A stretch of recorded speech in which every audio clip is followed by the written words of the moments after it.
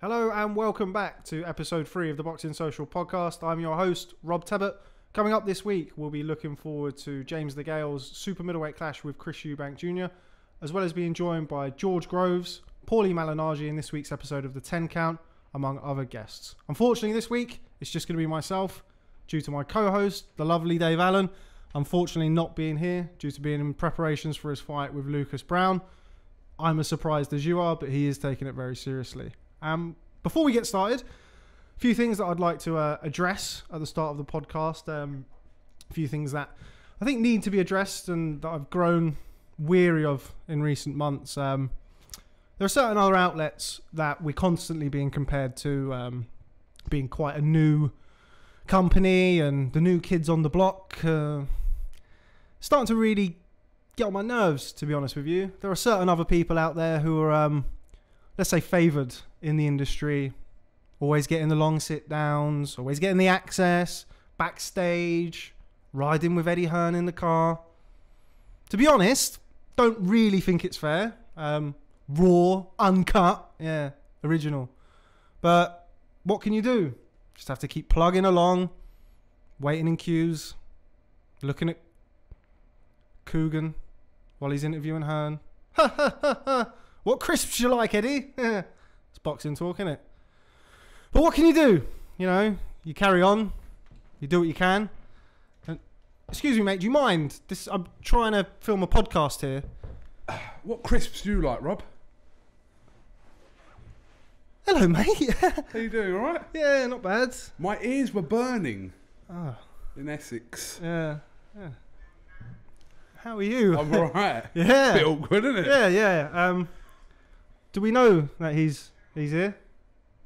Oh, we do. Uh, so, uh, seeing as you're here, you might as well. Um, I might as well join your podcast. yeah, you might as well. You might as well hang around. Um, delighted to be joined this week by Mr. Kugan Cassius from IFL TV in association with MTK Global. Got that down to a T, haven't I? Well done. Absolutely brilliant. How you doing, Coogs? What's going on behind us, by the way? I've no idea. There's something going on. Yeah. Yeah, anyway. it's, it's very interesting. How are you? I'm very well, Robert. Um, did you have a cup for me with Lionel Richie or No, you've got water. Shirley Bassey? Oh, you got, okay. you're actually in the gym and training. I'm, I'm definitely not. Fair enough. So, um, no coffee for you. Do you want a coffee? Really good setup you have here. You like it? Hmm, feeling it. Yeah, it's not bad. Well, delighted to be here. a, a little bit unexpected, but delighted to be here. Yeah, I mean, um, we've been trying to work on this for a while. I've been trying to entice Mr. Kugan Cassius onto the Boxing Social podcast um, for the last couple of episodes. So it's very, very pleasing for me that you've joined us. You know, have you ever heard the expression, uh, a drunk man speaks a sober man's mind? Yeah. Right. That's what I got from that little skit. You know, when you were actually doing it, I was listening to it and I'm thinking, you bastard.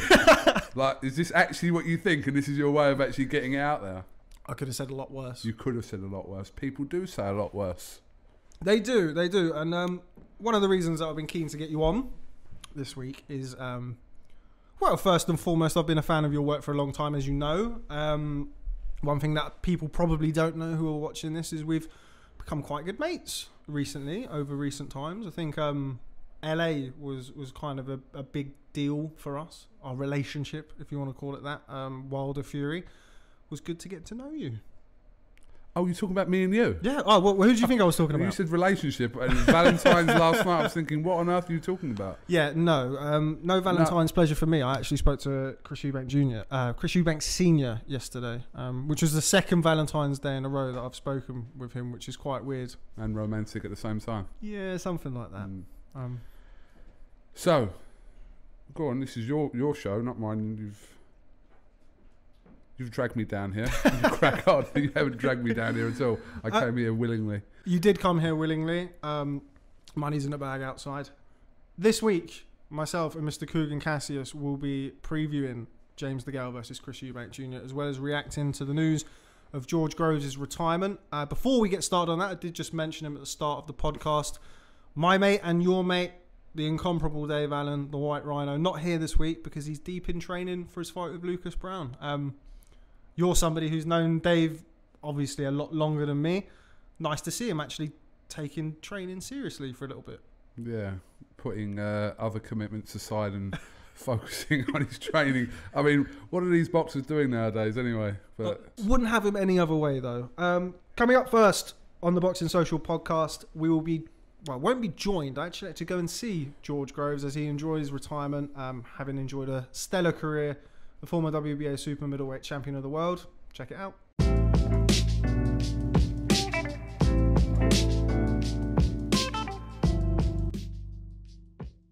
This is Rob Tebbutt for Boxing Social. Delighted to be joined here today by the Saint George Groves. Um, thanks very much for having me down to Casa del Groves. How are you, George? I'm good, thank you. I'm good. I'm good. I'm good. You're welcome. Uh, yeah, it takes it takes a lot for me to leave the house these days, I suppose. So, uh, no, you're welcome. to Come in.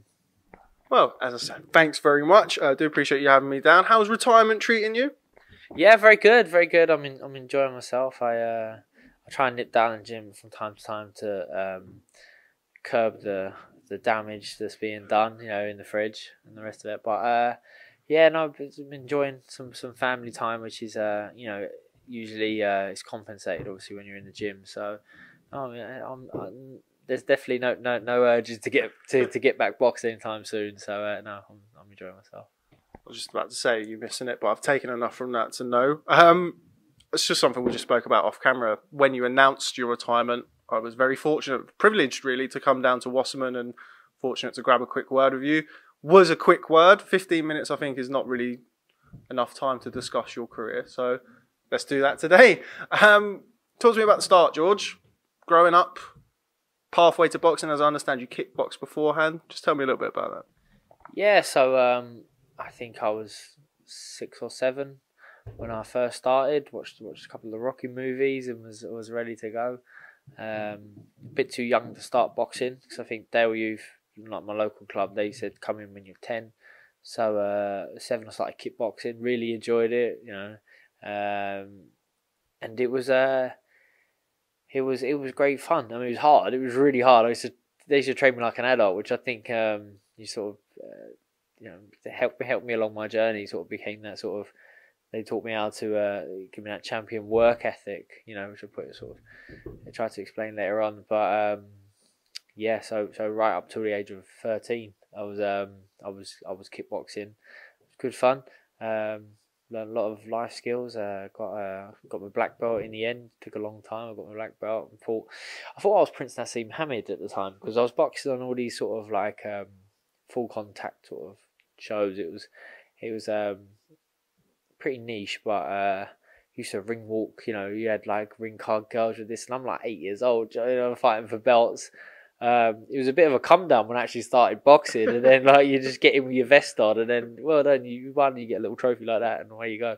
So um, no, it was great fun. It was a good experience, you know that uh, you know, you know, fighting in front of you know, really big crowds, you know. So uh, all all my, all my friends and family used to come and watch, even as a kid. So it was good to build the fan base early on as well, and it was uh, it was yeah, it was good, very good. I did a sit down with your old amateur teammate and professional stablemate Luke Campbell a couple of weeks ago, and he said that you were roommates. Um, how was that? I mean, Luke's uh, now I've come to I don't know Luke very well, but I know him enough to know he's quite a quirky guy. Um, what was that like living with Luke Campbell? Uh, so it started off at the very start. Um, he was the smallest kid on the team. Like he was, um, I mean, he was stick thin back then. He's filled out a bit now. He's got, he's got, got some guns and that. But back then he was stick thin, and he kind of had little man syndrome. Do you know what I mean? He used to wander around and he used to talk a good game. Was like, you know, um, but he was a good fighter, like everyone else. So you're a good fighter. You know, you gain the respect of everyone else. And um, that first year, um, think him and Anthony Ogogo won gold at the Junior Olympics, Mm. which is funny because they both went on to the London Olympics and medaled. So Luke won gold. Um, that was a funny old trip. We was in Texas. We stayed in a motel for like two weeks. We was going for runs down the back of this motel, down you know through wasteland, trying to dodge crocodiles and mosquitoes and everything else. Um, but come the end of that sort of that calendar year of the um, the, the tournaments, we ended up in Russia for the European Championships, and we all medalled. Um, me, Gogo, and uh, Campbell. We all ended up with bronze, and uh, you know, it was it was sort of we were in, but it was we were the lads, and then us three got brought on the following year, and quite a lot of the lads didn't make it through. So it was um, it became really good mates, really really good mates. Um, he uh, he came down and stayed with me for a couple of weeks as an amateur. I think it was around time we were both in the ABAs, or maybe just before, because um, his gym was sort of shut for for for a little while. So yeah, he, lived with me. Uh, for only a couple of weeks, but it was good fun. Brought him down Dale. Just, you know, so that's you know we've had two Olympic champions at that gym now. Because I'm claiming, uh, you know, obviously uh, Campbell as well as uh, James DeGale.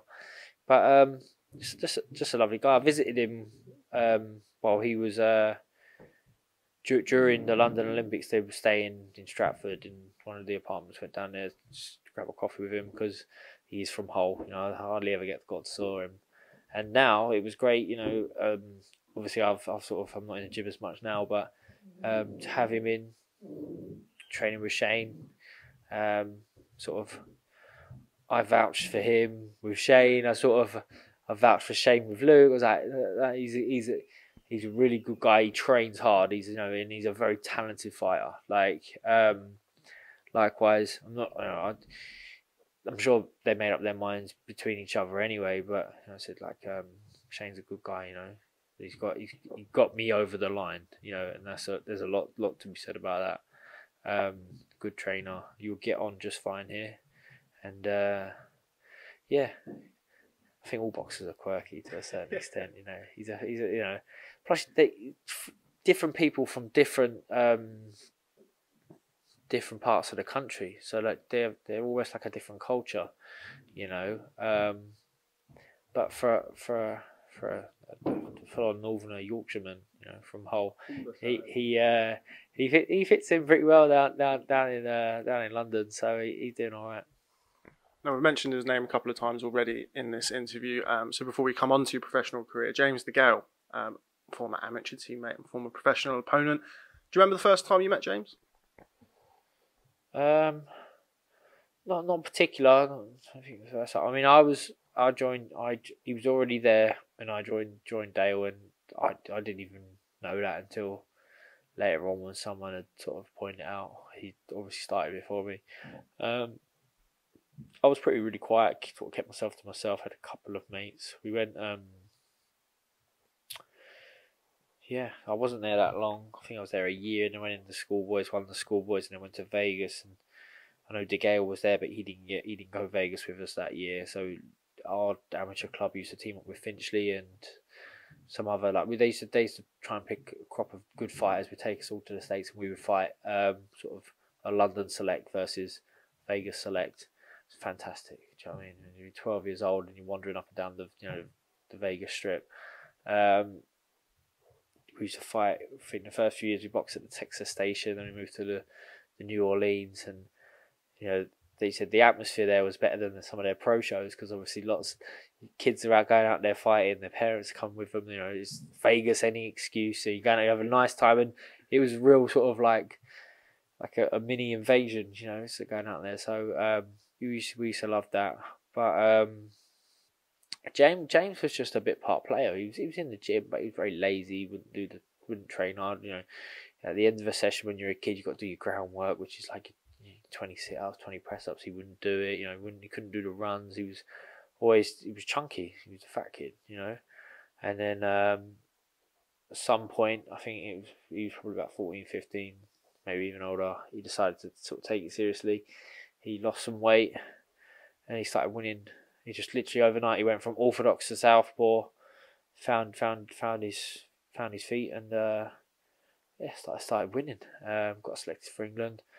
Um, went on a couple of trips. Won won the ABAs at eighteen, which you know even back then it was pretty unheard of. The guys that were winning sort of the national championships were the the old school guys who've been in it years and years and years. So for an 18 year old, he was usually considered too immature to go in. But they win it on skill, you know, because that's what amateur boxing was really about. Um, it's only three rounds. Uh, yeah, he won won two ABA titles, and uh, then it was my I was eighteen. I wanted to go in the ABAs, uh, so that's when we obviously clashed and, and fought and ain't got on since. So that's how it's gone. So was there no animosity before then? Was it only when you kind of saw each other as rivals, so to speak, that that this kind of I don't know, this beef kind of the origin of that? Yeah, well, I always anticipated it, and I maybe he didn't. Maybe he just thought that you know I will bow down to him, you know, and, and avoid him and whatnot. But I didn't really see him as much of a threat, you know. I always thought I'd be. I've always thought I was better than him, um, and I think he thought it a bit ludicrous, like that. You know, I'd want to fight him or I want to go in the, the ABAs. Um, thought it'd be ludicrous that I'd beat him, and, and obviously I did, and he couldn't. He generally couldn't take it from there. Um, I think it's in his nature to be patronising. You know, he used to patronise me. You know, when I was sixteen and he was eighteen and stuff like that. Um, but you know, I was I was ready to fight him. I know I've watched him enough times. We've done enough sparring together. You know, I, I was the one who sparred him the whole way through his when he won the ABAs the first time, and I was I was 16 years old, and I was more than holding my own. So uh, I knew a couple of years, a bit more um, maturity and that, but, you know, definitely go further than he did. Um, but it was good that I think we both sort of brought each other along. You know, we had that rivalry. Um, because we both, you know, we both wanted to be winners. You know, it was it was a successful amateur club. There was a lots of champions that came in and out, and he wanted to be the number one boy. You know, you wouldn't um, you wouldn't be the there was no real place for the proper arrogance, and I think he had that, so that's why he didn't really fit in as much. He wasn't as liked as much as I was, because um, it is still a, a, a, team event. You go and support support the other lads, you know, who are fighting. Um, because you wanted your club to, to do well. Um, but yeah, he was uh, yeah by the time, but he was never really my cup of tea. Even like now, he wouldn't be my cup of tea. We never boxed different weights. You know, I watch him on TV and. At times, I do think he's a bit of a prat, and you know he says some silly things, and he's, he, as I say, he's just not my cup of tea. So I don't think we'd ever be really, really close mates at all. But I wouldn't have anything against him. But we, uh, we were rivals. We were the same weight we had to compete against each other. Um, so that's how it became what it was. How did you feel when he won gold? Any messages exchanged? Happy for him? Not really bothered? How did you feel? Uh, no, definitely wasn't wasn't particularly happy for him. I uh, I never thought to myself, I could have done that. That should be me. Um, because I might have said it over the years without meaning it, just because I thought it might wind him up, you know, or it, or it will serve its purpose or enhance my sort of profile. But I didn't think that he was good enough to win one. It's just right time, right place. You know, he wasn't ranked in ranks at all going out there. He'd been beat. He, he qualified. I think there's three qualifying events, or maybe four. Because you, if you're not the host nation, you don't automatically get a place. So you have to go out and qualify. And Europe's a hard place to qualify from anyway he failed. Say say it was three. Say you get four attempts. He failed at the first three and only qualified with the last attempt. You know, um, he had five fights out there. First one he boxes a New Zealand kid, so that's a walkover. Um, I don't know who he boxed. I counted three. It might have been four out of the four out of the five guys he boxed in in Beijing. Already held victories over him. Darren Sutherland, who he boxed in the semi-finals, I think had was beaten in four to one. They boxed five times, beaten four times. Um, the kid he boxed, the Cuban he boxed in the final, beat him on the Amir Khan um, Kindelán undercard or something similar. The Kazakhstani he beat um, on his way through, I think, for a medal, already beat him the year before. You know, and that Kazakhstani knocked out Kovalev, uh, Kovalev uh, Korobov, who was the number one dude at the time. So he didn't have a fortunate draw. He just he showed up. Fair play to him. He showed up and he got the win. So um, maybe the guys who had victories over him didn't show up on their time. Like Sutherland, I felt didn't show up. He just looked content with his bronze medal. He'd won. He'd got into a medal position. He looked like he switched off. So fair play to DeGale. He got the gold. I never for a second thought that should be me because I'm sure I wouldn't have been nowhere near ranked in the top um, top ten going into that in the world and um, you know, a couple of fights probably held victories over me. I can't remember. Um, so uh, good, good, good on him. Lots of people saying this is great for you. This just enhances your rivalry. You've got a victory over. You just beat an Olympic champion. You know, last year he's gone on to win the Olympics. So when your paths crosses as pros, you've got that over him. He knows that. Plus, it just commercially from business side, it just adds so much more spice to the rivalry. Just more more pound sign. So um, enjoy it. So yeah, there's frustration there, um, but it's it's petty. It's just that someone you don't like has gone on to do something well for themselves. So you're like, I'd rather him just be miserable. But uh, you don't want to be that person forever. So yeah, no, I'm, I'm, I'm part of me is happy for him, and I'm happy that for myself that it, you know, it adds to the adds to the story. You know, enhances everything around it and makes us big part players. You know, um, I've gone on to successfully be and own an Olympic champion. He's in my pocket. He always will be. So that's nice that I can take that home and, and enjoy that for the rest of my days. Now you've spoken about the build up to the Froch fight on, num- on numerous occasions with kind of working with Paddy. The actual fight itself, do you feel like that was the best version of you in your career? Do you think up until the stoppage that was the best version of George Groves? Um, no, no, because um, I couldn't because I couldn't get rid of him. Where I was um, just going right hand happy to the head. I should have I should have mixed it up. I should have put some different shots in there. I should put some body shots in there. I should have set a couple more traps. Um, you know, not to blame Paddy at that point. It would have been nice if he'd given me the right pointers. And then the sixth round was torrid for for Froch, like real torrid. And at that point, uh, Paddy told me to have a round off in the seventh, when really I should have just put it sustained a bit more. That would have that would have been better a better option as many as many other things throughout that fight. But you know, it's hard. It's hard for someone. You got to call it in the moment. You know, you know, I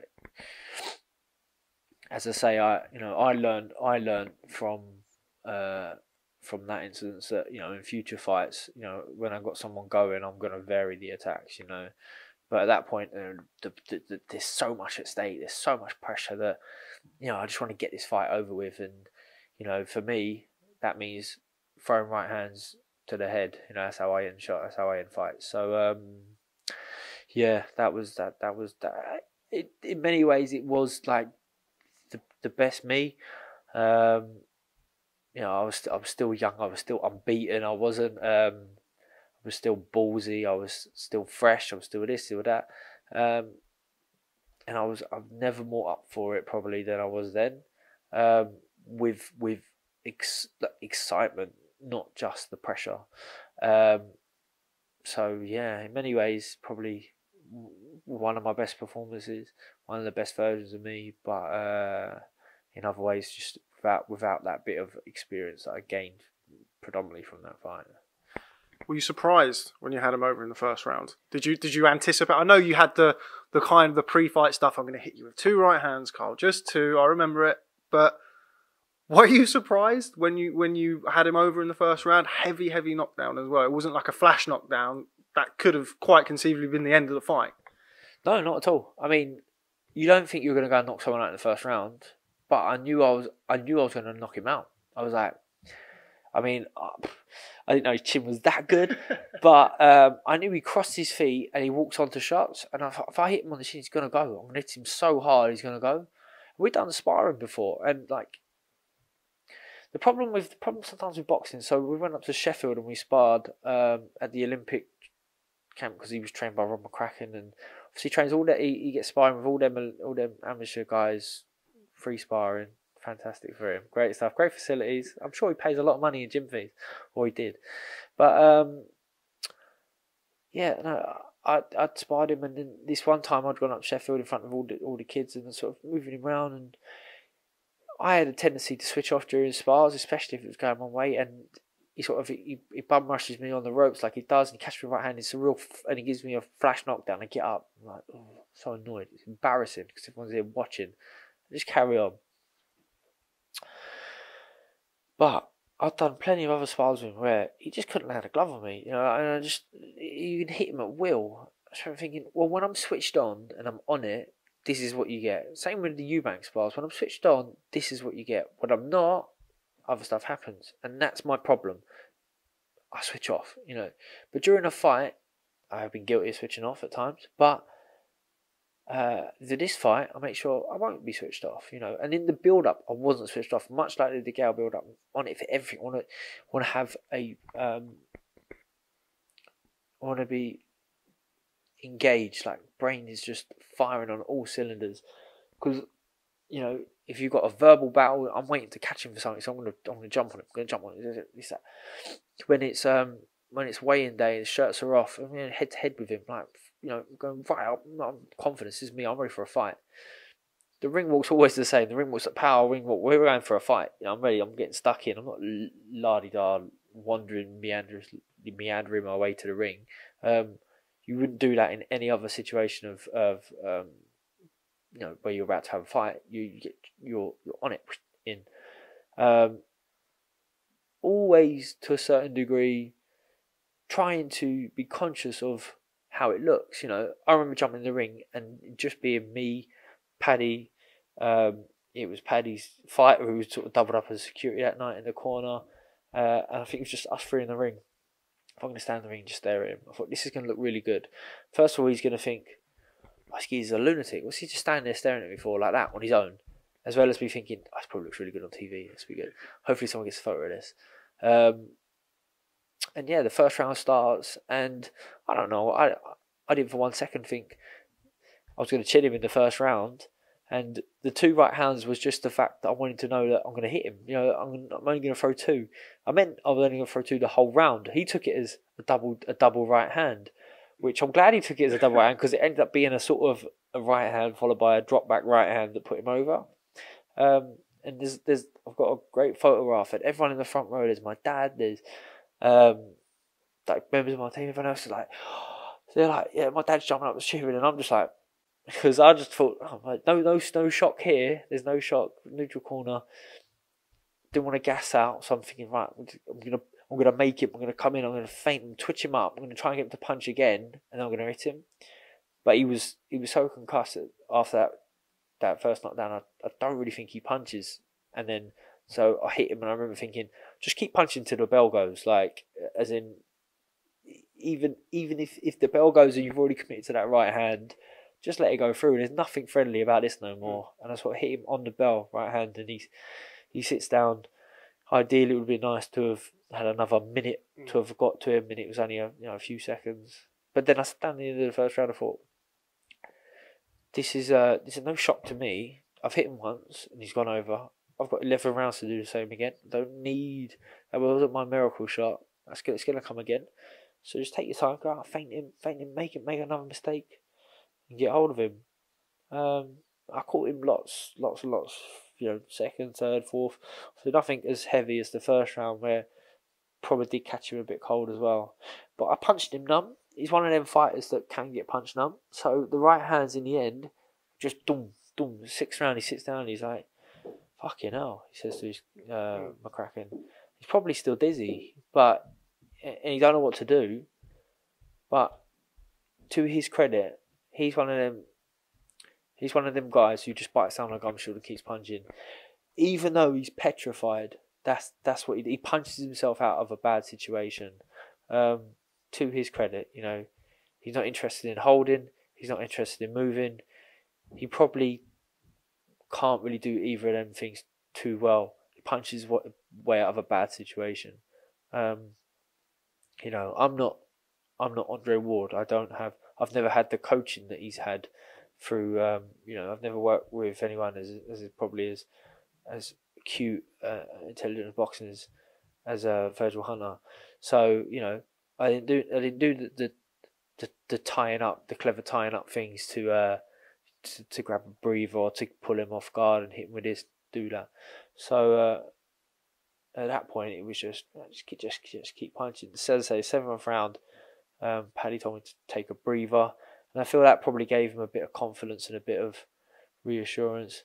Eighth round, I, I hit, uh, I think I hit him again. I can't remember if it gets stopped in the eighth or the ninth, but it's the ninth. Mm. At that point, literally, the first time he lets his hands go, uh, nothing really lands. We were both a bit, a bit, a bit um, wobbly on the legs, but not through getting hit, just through um, fatigue. Do you know what I mean? If I've been whacking a heavy bag for nine rounds, I'm going to be tired. Do you know what I mean? So uh, yeah, Howard Foster jumps in, and I'm just like, oh my god, I can't believe this. Um, again, like you're, I think to myself, what has he seen? Like, what do I look like? I've been hurt because I don't. I'm definitely not hurt. I don't feel it. Like, oh, for God's sake, what have I done? Like, you almost you're blaming yourself at that point. You think, oh, have I? If I fucked this up after all this, what have I done wrong? And then, but then you just look look around, you see everyone else's face. You're like, oh, I've been stitched up, and then you watch it back. You're like, I've been stitched up. Um, so yeah, it was. Um, I, I go back to the original point. I I wasn't shocked putting him over. Uh, just disappointed. Not disappointed he got back up. Disappointed I couldn't put him back down and keep him down. Rematch. Took a lot on in that rematch outside the ring. I think it's when you started managing. You brought Luke Watkins on. Um, obviously, a massively hyped build up. Do you regret any of that? Do you think you kind of expended mental, emotional energy in the build up that potentially you didn't need to in the second fight? Yeah, definitely, definitely, um, like definitely, it was taxing. But I'm still young and fresh, had no kids, you know. It was like away we go, you know. Like um,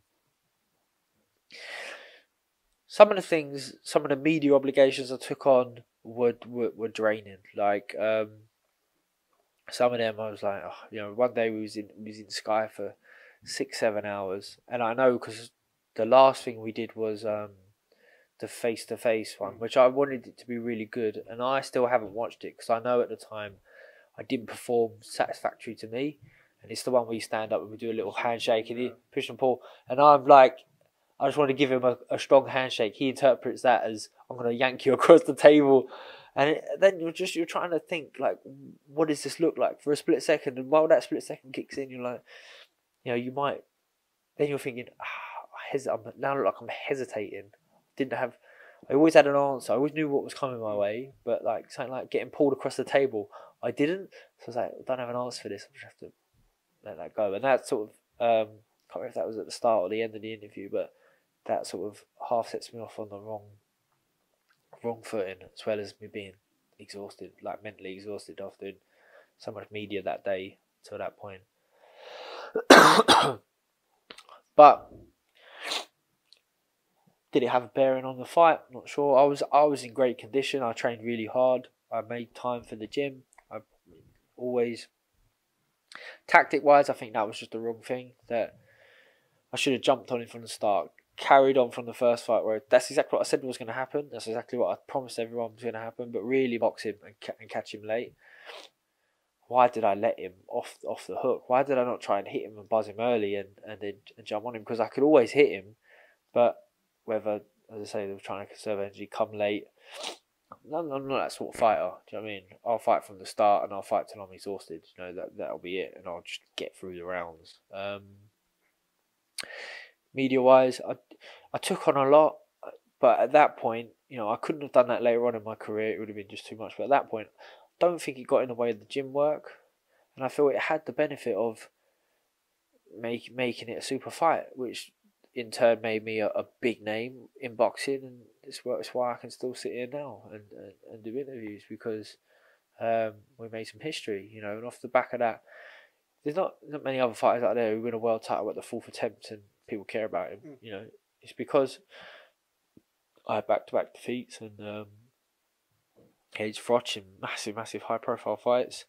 You know, a year later, I'm fighting on the under on an undercard um, in Vegas no one should really care about against a guy who people didn't care about, um, but people did because of what had happened before. So um, everything was worth its while. You know, I think definitely uh, would have been nice to have won. It would have been nice to have just not got knocked out, but um, you know, so, so, so, be it. You know, so be it. It's uh, I learned a lot from it, and I think it's made me a better a better human being for it in the long run maybe not not not even just a, a better fighter. So it's okay. Just mentioned the fact that a year later you boxed Badou Jack, returned to Las Vegas. So you were there when you were 12 years old, and now you're there fighting for a world title. What was the whole experience like? I think I over. I think I peaked too early for that fight. Um, I couldn't get to grip with the altitude of, of Big Bear. So, but really, what had happened was I'd wanted to get it right so much that time that I got fit too quickly. I got light too quickly.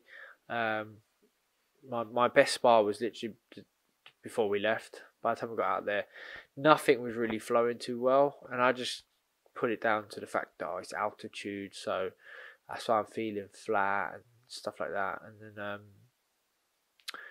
just got really homesick, which I don't get as such. You know, when boxing's involved, and that's that's why that's the reason for it. I don't get homesick, but that time I got really homesick. Obviously, the pressure of it being your third attempt at a world title um, was kicking in.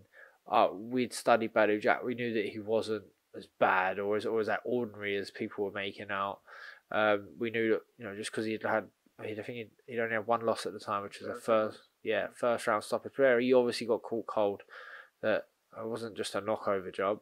Still was really confident beating him, beating him well, but um, you know it was it was it was it was strange. By the time the fight came round, we went to Vegas. People saying, "Oh, you're so excited! You must be so excited to fight on the Mayweather card." It's like I've boxed at Wembley Stadium. do you know what I mean? Uh, 80,000 people, like, ask Carl Froch. You know, it's like, it was a big deal. This is a come down, major come down for me. I'm doing it out of necessity. I'm hoping this is going to now open the door and I'll be back where I want to be. I'm chasing it for now for nearly two years. Like, I'm, I'm, I'm on the catch up. Like, so, no, it's not a big deal. don't care. Couldn't care less. In fact, it's a major inconvenience because, um, you won't give me enough wristbands or everything else that goes on, you know, in the states. Uh, so yeah, so come come come Badou Jack. I was uh, I was with my wife um, in Las Vegas uh, hotel room. I think we st- we stayed at the Vdara. Um, she was was in the bathroom. Um, I was laying in the bath, looking at a nice bath there, and it had a sort of like a apex sort of window, like the corner suite, so you could just sort of sit there and look out. Um, it's sort of time to reflect on on what's going on in your life. Uh, Vdara didn't have a casino, so that's why uh, they probably have those reflecting uh, bathrooms. Because if you just lost all your money downstairs in the casino, you want to go upstairs and reflect on it. Um, but I just remember thinking, oh, I'm just so desperate to get this over with, being really emotional, a bit teary. And that's not ideal to be in that situation literally a couple of hours before you're boxing. You definitely don't want to be in the bath soaking, it's just going to make you tired. Um, we thought we'd learned from our mistakes before, so we insisted on a on a private dressing room where we wasn't prepared to share. Thinking this can't be hard at the MGM Grand. They must have like thousands of dressing rooms. They didn't. They gave us literally like a toilet cubicle to warm up in as I'm about to do pads, Barry O'Connell dropped a bucket of ice and water on the floor. Like, not his fault. Where it's like, okay, so we just do pads in this little corner over here. Um, fight came. They didn't play my music. They played some other random uh, ring entrance music. You know, it it was like the old me would have been right. Well, I'm not ring walking until they play my rap music, and I thought I was the old me. So I started. I was like I'm not ring walking until they play my music. But after about 45 seconds and my, my music wasn't going to kick in, I was like, let's just go.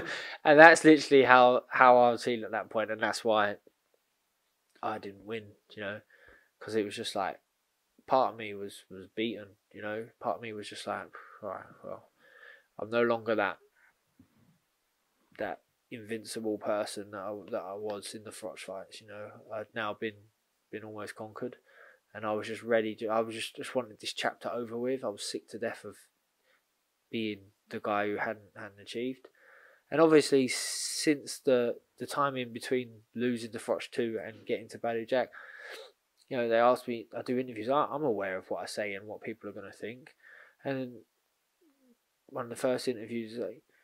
So, what do you think about the Froch fights? And I thought, I can say, but I still think I'm better than him. And I knew I'd get a massive backlash for it but I thought, I'll time to do it anyway.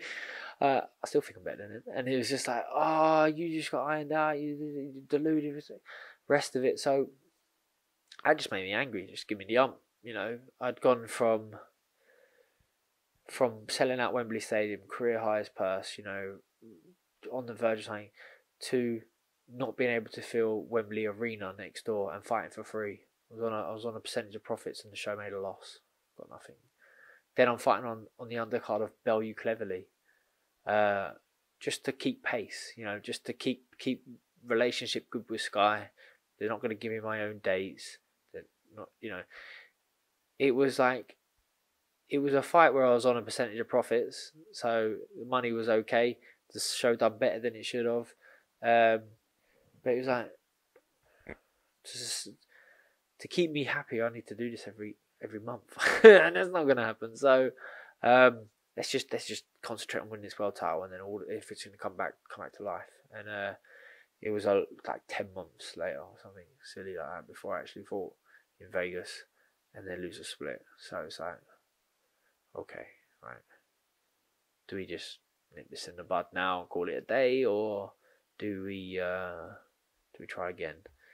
Um, obviously, I did did decide to, go it again, but it was. Uh, that was a ter- terribly, terribly low part of my life. Like um, everything, to build up to the Jack fight, the fight itself, and then obviously directly after.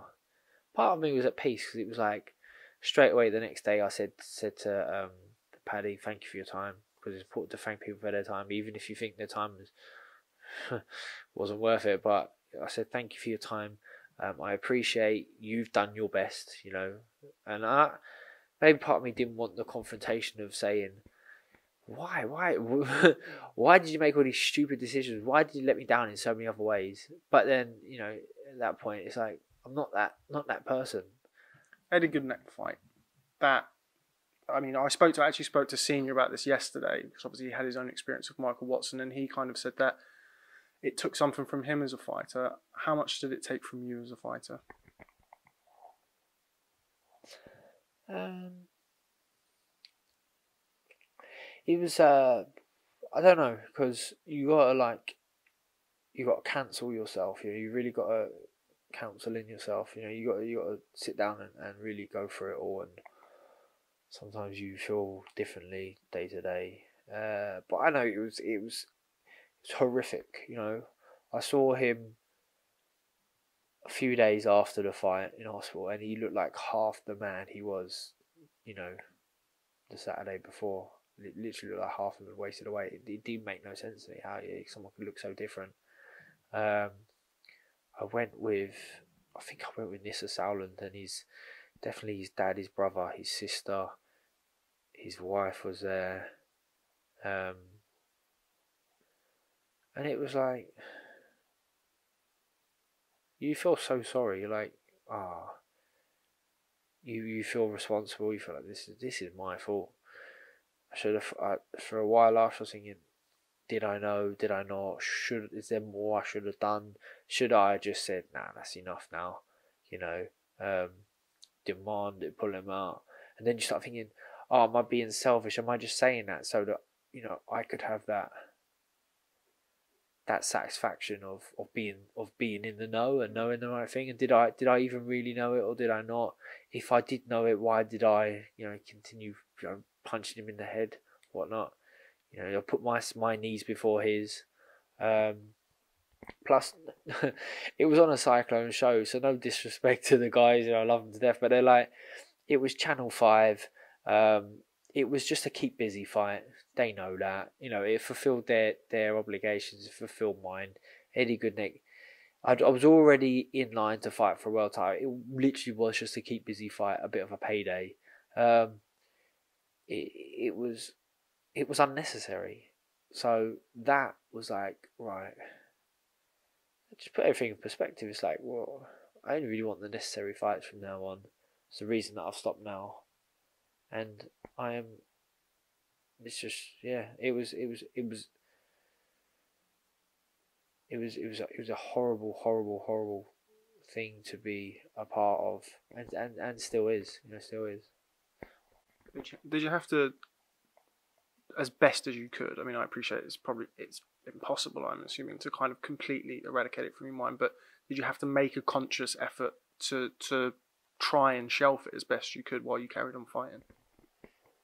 Uh, yeah, I think I think as as time went on, um, it was easier to not be at the forefront of my mind, like during during training and during fights. He was still on my mind at, uh, during the Chudinov fight. Mm. I, I I know that because I remember feeling it straight after. Um, because obviously Chudinov, you, you just I just kept hitting him, and he just seemed to not be sort of phased by it. I was hitting him a lot harder than I was hitting Gutknecht, and um, so it's like, but that, no, everyone's different. There's different circumstances. I think it's different, different preparations. You know, a lot, a lot of the time, people have pre-existing conditions that haven't been um, discovered or you know disclosed. Um, something can go, something can happen in training camp. Something can happen in the fight prior. It could be the way you made weight. There's lots, and and the the sport's changing. The fighters becoming better athletes. The gloves are becoming a little bit more specialized. You know, the even down to the uh, you know the the the, the checks, the health checks are sort of 50-50. Now, you've been involved in some of the highest profile moments, and from the Rubik's Cube to the press conferences, you, you've said and done some things that really do stick in the memory. I think one of the biggest memories that I'll have of your career is the post fight interview with Chudinov. You're somebody who you mentioned earlier on, you, you like to convey this kind of chest out and have been well prepared and well rehearsed. That struck me as just something completely raw and from the heart. Explain to me the feeling of, of overcoming. Obviously, you mentioned Eduard Gutknecht in that in that speech. Just try and explain to me the feeling, if you can, of winning that world title and, and those 15, 20 minutes afterwards. Um, so it's uh, it's a feeling of it is a feeling of happiness and joy, but not. There's nothing. It's just relief. Like it's it's a feeling of relief. Like something bad was on the verge. It felt like something bad was on the verge of happening, and it's relief that it didn't happen. You know, uh, and then you, for me, it's like, well, I can move on with my life. You know, I've I've been treading water now for years, like trying to get on with my life, and I can't. But now I can finally get on with my life, and this is a just a massive relief. Like you could, you could feel years of um, pressure, the weight on my shoulders, just relieving itself, and and what comes with that is the exhaustion. It's like, it's like it's like when people go on holiday and get sick. It's because like they're working so hard at home, they haven't got time to get sick. They go on holiday, relax, and like oh, I've got the flu. That's literally how it felt. And I, you know, you, see the footage of me in the change room after. We're not jumping up and down with champagne, celebrating. It's just like it's very quiet, and that's because everyone's been through that journey with me. You know, through from my wife, my solicitor, my physio, Shane and the boys from McGuigan's, you know, even my security team have had them on since before DeGale. The same faces just there, as well as some real close friends and family. And everyone's just like, thank God. Brilliant. As well as I've got a broken jaw and cuts over the face, you know, got to have, um, got to get stitched up like a mailbag in the back of, you know, Sheffield, um, Sheffield, Sheffield United football round. So, um, yeah, it was just it just just just um, just relief. Okay, well, George Groves, um, we've covered everything here that we didn't cover um, when I was at Wasserman. Anything that I have missed out is in that other interview, so people watching this um, can find that. Just want to say again, as I did in the very first, um, well, not the very first interview, but in that interview at Wasserman, congratulations on your career. Um, you've built a tremendous career. You've got a lovely home, which I'm very humbled that you've invited me to today. You did it your way, which is something that I've said and a lot of other people have said. And in boxing, that's not an easy thing to do. It's certainly not an easy thing to do and come out on top and at the top. So, congratulations on a fantastic career. Um, whatever you turn your hand to next, whether it be motivational speaking, managing fighters, landscape gardening. I don't know. Whatever it is, I'm sure it'll be a fantastic success. Um, ladies and gentlemen, the Saint, George Groves, thanks very much for speaking to Boxing Social. And I'm sure I'll catch up with you soon and look forward to it. Thanks, George. Cheers. Thanks, Rob. Nice one. Cheers.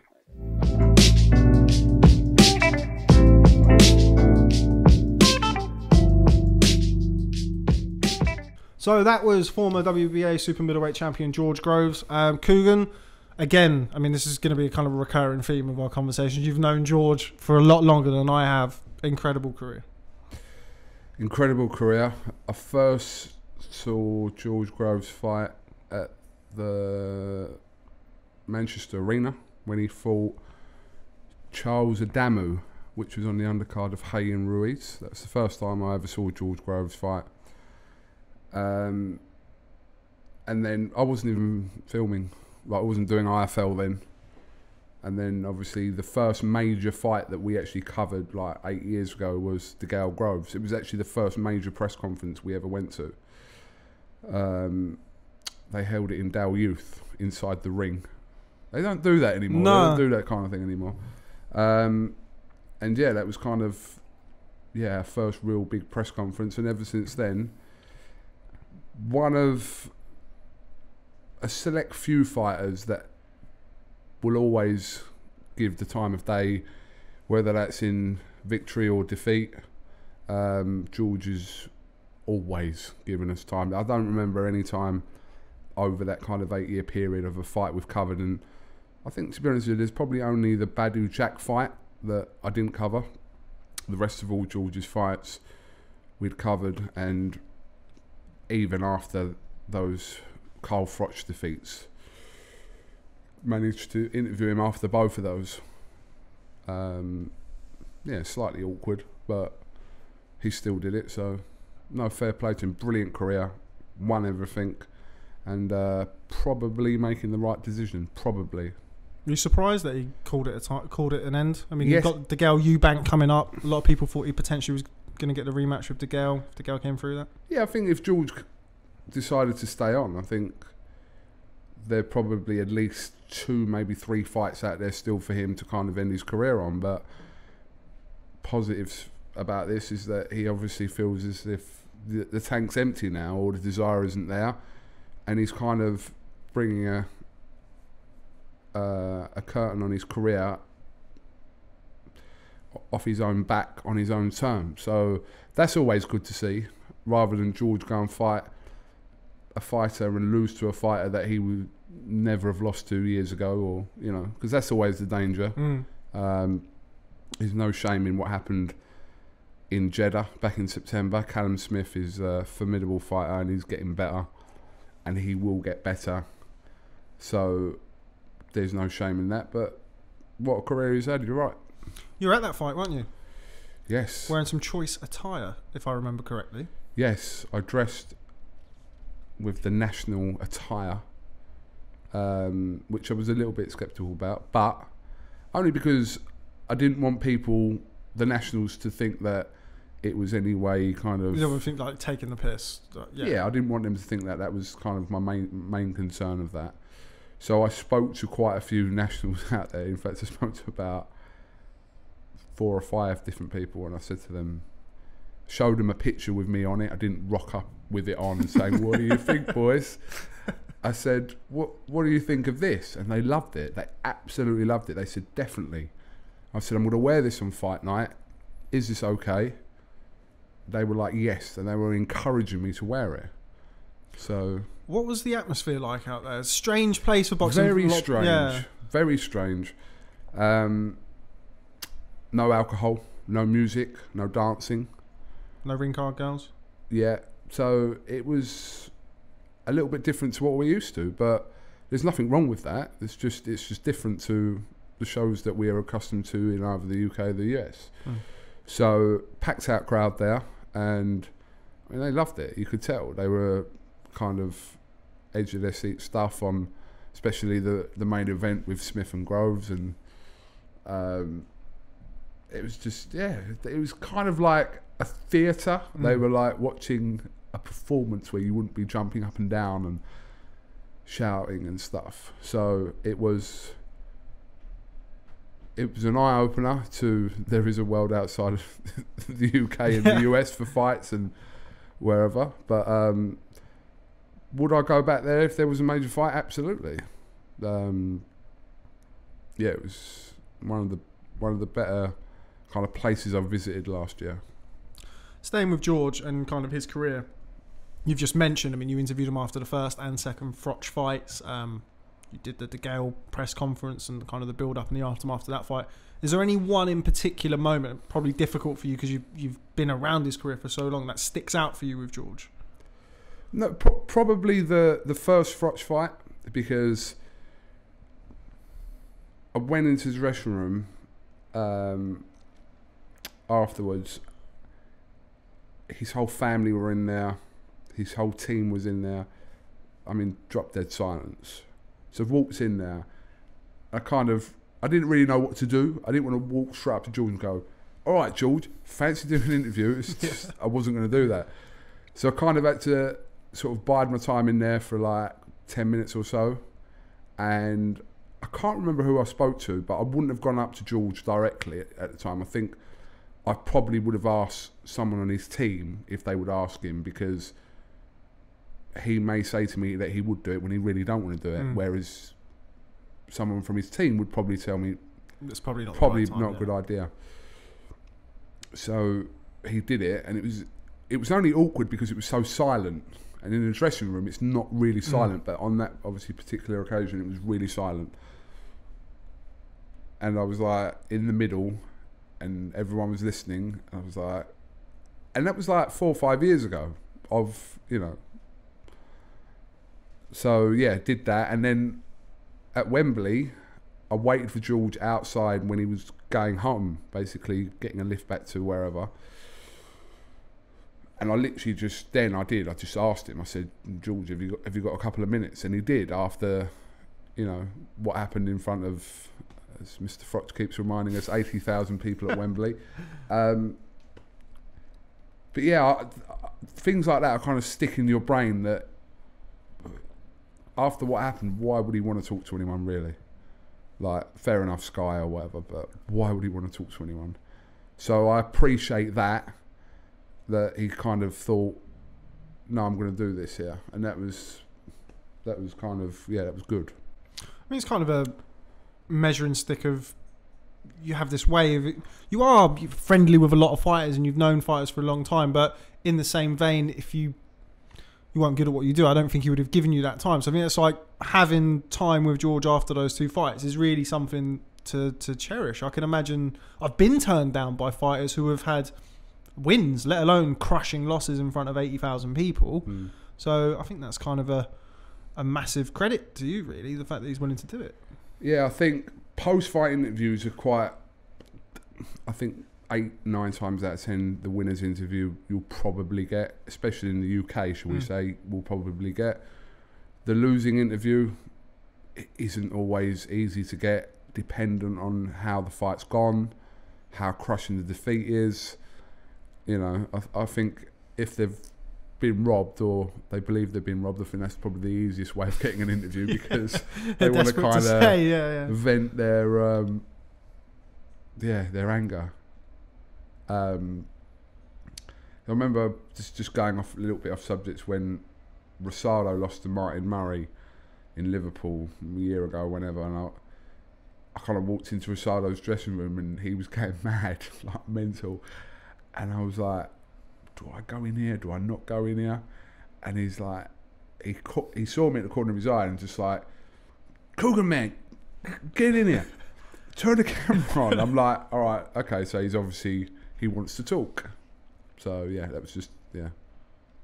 Interesting story. Are you being sarcastic? that is a good. That's a good. That is a good story. I'm joking. It's not a story. It's just a, it's a, an example. I'm backing my shit up. Can you swear on here, by the way? Yeah. What Well, you just did. What can't we say on here? I don't know. The L bomb. What's the L bomb? We don't know the L bomb. No. All right. Well, I won't say it then if you don't know what it is. We can always um edit it out. Looking forward to this weekend. Myself and Mr. Kugan Cassius have caught up with James DeGale and Chris Eubank Jr. this week. I was lucky enough to speak to Chris Eubank Sr. yesterday down in Brighton at Chris Eubank Jr.'s open media workout. Check out what he said.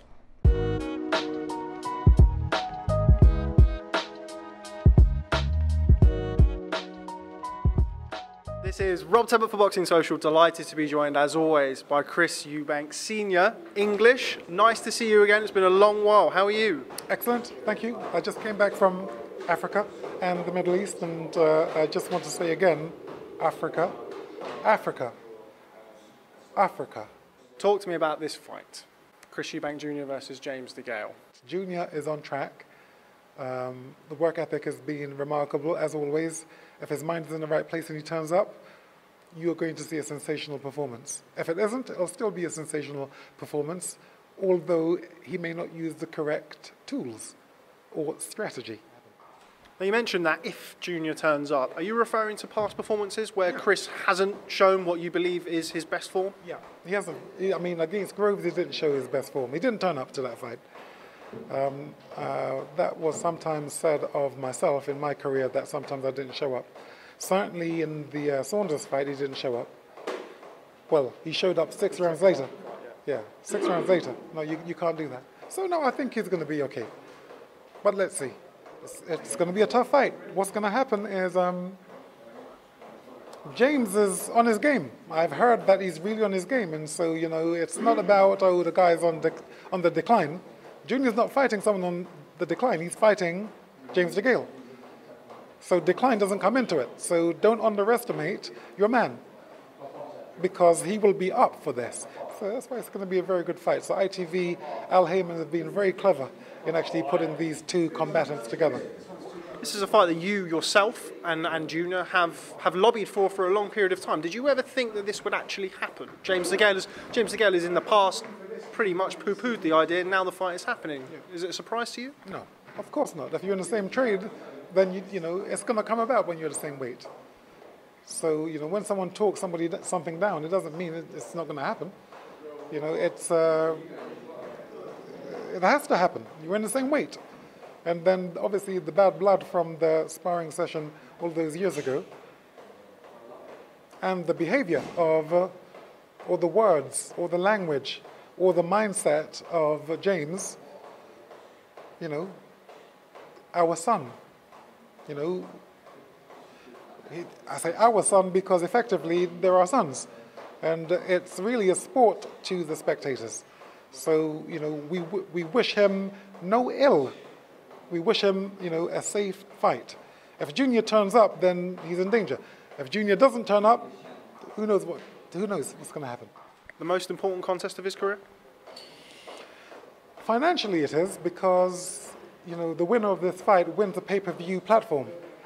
You know, and you know over the last two and a half years, I've done everything I can, you know, uh, at the expense of my my family structure, at the expense of my dignity, at the expense of my my uh, reputation, to stay with ITV, um, because I believe, you know, it can be much bigger than Sky, but Sky is far more aggressive than ITV. That's all it is. So we just want, or I can see where if ITV becomes aggressive in this field, that they can become uh, a juggernaut, effectively. Um, so I've stayed with it, and so, you know, Junior now has the ability to win a pay-per-view platform, as well as, you know, a huge career with Al Haymon. So by that token, the James DeGale fight, in effect, is the most important fight of Chris's career. Is he the most difficult opponent of Chris's career? He could be. He could be. You know, because you've got tools, you know, you've got your punches, you've got your strategy. It's whether you can apply yourself to the correct strategy. We've mentioned already, already the sparring uh, of years gone by. You've already said that you don't believe that James is, is on the decline. You believe he'll show up. What's changed though since those sparring? In both Chris, in both James, in, in yourself even, what has changed since those early days when, when Chris and James first sparred? Well, I don't know what goes on in the mind of anybody else. So I don't know. I know in my mind it doesn't change. You know, I have mastered this particular craft, this art. I'm not bigging myself up, but sit me in front of any of the trainers. They're only going to, we're only going to agree. You, because really, the ingredients are all the same. You don't underestimate anyone. When you do, you don't have your firepower. Fear. Without fear, you, you don't have spark. You don't have the impetus to actually do the work you're supposed to do. All of these principles and the spiritual aspect of the sport comes into play. So I can make sense of it. And speaking to these other trainers, they would say, well, there's nothing wrong in what he's saying. No one's going to teach me, sorry, let me rephrase that.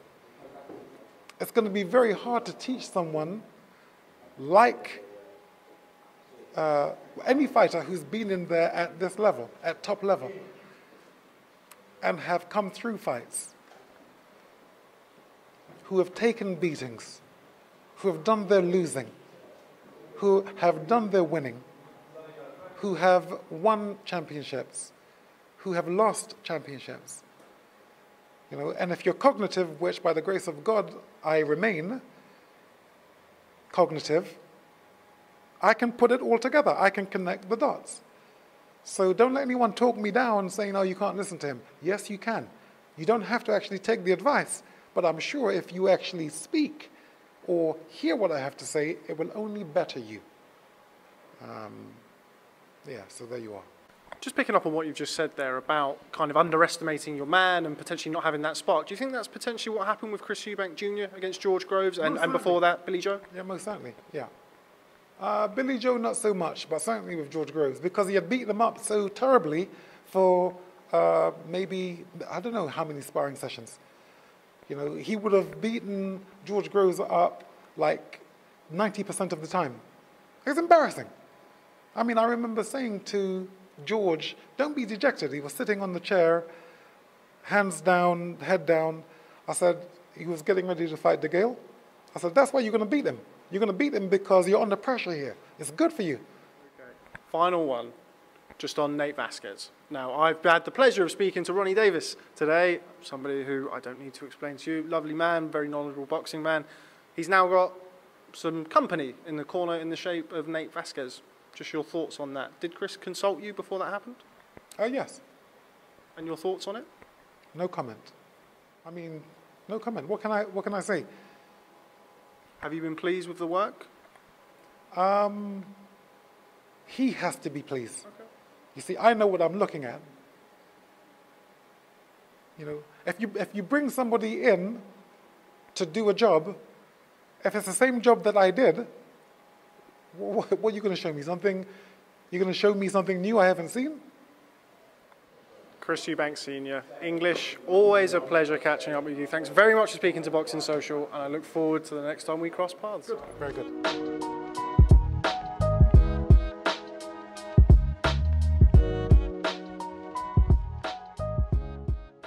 So that was Chris Eubank Senior, English. Um, been to Africa apparently.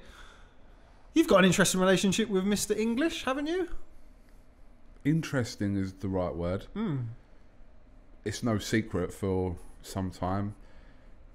Mr. Senior uh, didn't allow me to interview him or his child. Why? Why, why, why was junior. that? Yeah, junior. Yeah. I don't really know, to be honest.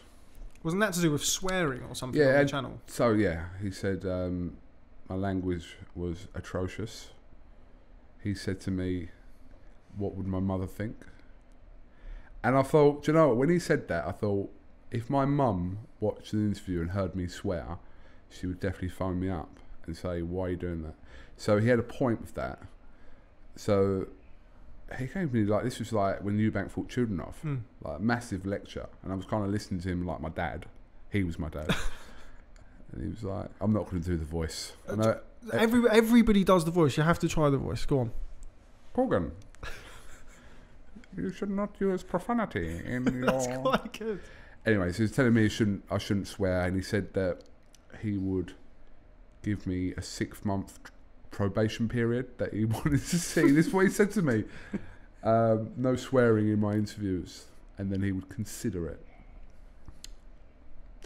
So I thought, okay, whatever. Uh, I'd already interviewed Chris before. Chris was actually fighting at Bluewater uh, against, I'm pretty certain it was Ty and Yeah, it was Tyan Booth. Yes, and I interviewed Chris like in the shopping centre at the weigh-in. Spoke about Billy Joe Saunders there. Nothing's changed. I don't think any of my interviews with Chris Eubank Jr. have never consisted of Billy Joe Saunders. So, but then there was a massive gap between then and when um, Eubank fought Renold Quinlan, and I kind of got in touch with some people on Eubank's team, and I just said, look, what's the crack? I'm not really don't want to come down there and film a press conference and then go home. You you know that pain. If hmm. you had to go and film a press conference but you couldn't get the interviews, hmm. you would have to really consider whether you were going to go down there or not. Mm-hmm. And that's not like a I'm only going there if I can interview. It's uh that's the interviews are really That's what you're Not- there to do. If you can't go to do your job, if you if you're in a different a different line of work and you can't go in to actually do your job, you're probably not going to go to work. But so Yeah. they, they did um, a thing on the London Eye. Don't you remember that. Hmm. So I interviewed junior for like 40 minutes that day, interviewed senior for like 50 minutes that day, and then since then, yeah, touch wood, everything's been okay. Let me touch that wood. Um, but yeah, interesting. I mean, I get on well with Junior. I think I find him to be a sound guy. I know people have got their kind of opinions about whatever, but I think he's quite happy to play the bad guy, etc. But I quite I like Junior. I haven't got a problem with him. He kind of sees me, I think, as Billy Joe's, in his words, bum chum. yeah, I remember that. what that you was funny. refer to Billy Joe as. But I'm quite Billy Joe is my friend out of most people, so I'm not really going to disagree if someone's saying, "Oh, you're friends with Billy Joe." Let's talk about the fight. James DeGale versus Chris Eubank Jr. Um, I think quite a well matched fight. I don't think, with all due respect, a couple of years ago people would have necessarily seen it that way when James DeGale was world champion and, and Chris Eubank Jr. was, well, certainly after the loss to Billy Joe and even recently as, as losing to, to Groves before DeGale had his fights with Caleb Truax. What do you make of the fight? I really like this fight, and I think it makes sense now more so than ever for the pair of them because you're right. A few years ago, James is kind of so far ahead in terms of where he was in his career. I mean, after he beat Dirrell, he went on a run of like up until the Truax fight of back-to-back defenses in America mainly. So Eubank was kind of still trying to recover from the Billy Joe Saunders defeat. That's the truth. He had to kind of build himself back up from that point into contention to the George Groves fight, which is what he did. Uh, so the fight could have happened, but it more makes sense now for both their careers. I mean, I think it's more important, say more important, I'm saying for kind of whatever's left of their careers for James DeGale, because James DeGale is kind of at that stage, whether he wins or lose, he may only have another a year or so left anyway, possibly. Eubank Jr., that's why he's not really talking about this retirement thing or playing along with this retirement thing, because yes, if he loses, it puts him in a really kind of difficult position because he has to work himself back into contention uh, for another big fight. But is it the end of the world for Eubank? I'd say no. Um, but every time Eubank kind of talks his game up, Billy Joe Saunders a few years ago, George, uh, George Groves, now Eubank, um, DeGale rather, it's like, right, you have to deliver now. And I think people were kind of, some people were backing him for that Groves fight off the back of thinking, all right, that Saunders fight was a few years ago. Let's see what you are now. And he finds himself in this position again. Push you for a prediction? No. No. You know I fence it. Yeah. Uh, what, you don't? I predict a great fight. The fans are the winners. The fans are the winners. um, You don't predict either, though, do you? Mm, No, not really. Um, it's difficult, and this is something we'll come on to when we do our our bit later on. Um, it's difficult for us to kind of go out on a limb. I know people who have been turned down interviews for making predictions on fights. Yes. I know loads of coaches, no names mentioned, that have gone absolutely mental because there was this su- a suggestion of you picking a fighter. One instance of this, I know we're going to talk about this more in our bit, but Quigg, I interviewed Quigg in the back of a van. This is True story. Back of a van outside Gallagher's gym before he was going to fight Carl Frampton. I don't think even the fight would, has even been announced yet. So Quigg was like, "You fence it a lot. You you need to come off that fence." And I said, "What are you talking about? I've got to stay neutral. My opinion is relevant, which it is. That's like like the whole thing around it. I know people like, and if someone sees me in the street or in a park, park, a park, a bar, a strip club, uh, a strip Calm down, mate. Hold on, strip church. Sorry, strip church. If someone sees me, I'm quite happy to have that conversation with them, like who I think is going to win, and that's fine. I don't just sit there like hiding from people, going, "I'm not answering your questions." But uh, Quigg was really pushing me, right? And he was going, "You never say who's going to win fights." I said, "I don't know. Why would I? Like, why would I?" And he was like, "Who do you think wins out of me and Frampton?" And I said, don't go there. And he's like, no, go on, go on. And he was pushing it and pushing it. And I just, I come out with Frampton stops you late. Oh, how did that go? It didn't go down well with like Joe and that. Did Quigg mind? Quigg didn't care. I, and do you know what? After it, after I did it, I spoke to Joe about it, and I said, Joe, look, it's not like I'm just coming out with it. You watched the interview, you can see Quigg doing that, prodding. Go on, do it. Go on, I dare you. Didn't have to tell him that you thought he'd stop him. Well, if you're going to do it, you might as well go all out. Well, I got that bit wrong. But Yeah. Quigg, you can't. So, Quigg's one of them people. Yeah, he might go away thinking, "You prick," back, in coal. But he wouldn't take it personally. He wouldn't like. But I know if I said that to some fighters, I know hundred percent they would be like, make it awkward for me to kind of interview them. Mm. I, I I already get called Fury fanboy, AJ fanboy. Oh, you're in Frank Warren's pocket. Oh, you're in Eddie Hearn's pocket. Well, use your common sense. You can't be in everyone's fucking pocket. Do you know what I mean? You can't be biased towards everyone. That, if you're biased towards everyone in boxing, that probably means you're not biased. Is that true? Yeah, that's true. That is very true. So people are like, oh, you're you're you're a Brook fan, you're a Khan fan, you're a this fan. Yeah, yeah. T- I say it to all of it. Yes, but you can't. Being biased is you favouring one over the other, not. You have, to, you have to either be a fan of everyone. someone said no on my. Instagram the other, sucking everyone off. That's that's a that's a conversation for a different time. Uh, do you know what this actually reminds me of? It reminds me of LA walking around the Staples Center on Wilder Fury Fight Night, and you asking probably ten Fury fans in front of me. So Rob, who do you think is going to win the fight? Which was great. I Yeah. did do that because. I, I, thought I that. thought Wilder was going to win the fight, and I've told Ben Davison this. I haven't told Fury because didn't get an interview with Tyson in LA. Um, but I I thought Tyson would outbox him, and I thought eventually Wilder would catch up with him, which is exactly what happened. But Fury got up somehow. but to be fair, you couldn't have. No one could have ever predicted this. I mean, one of Ted Cheeseman's friends won like ten grand from Yeah. a draw, but that's a that's a fluke. But it's a weird one because people are like, "Who's going to win? Who's going to win? Who's going to win?" And it's like your heart rules your head sometimes, and it's like, or vice versa. It's just how it is. I think a lot of people who back fighters, not talking about me and you, I'm talking about in general, they back them and they believe they're going to win because they're a fan of them. Mm. But there are people out there that will give an honest opinion. Look, I'm a Fury fan, but I think Joshua beats him. Or I'm a Joshua fan, but he couldn't live with Fury. mm, There are fans like that, but a lot of people are completely blinded by the fact of, like, that's my fighter, which is good. That, that it's good. They're backing him no matter what.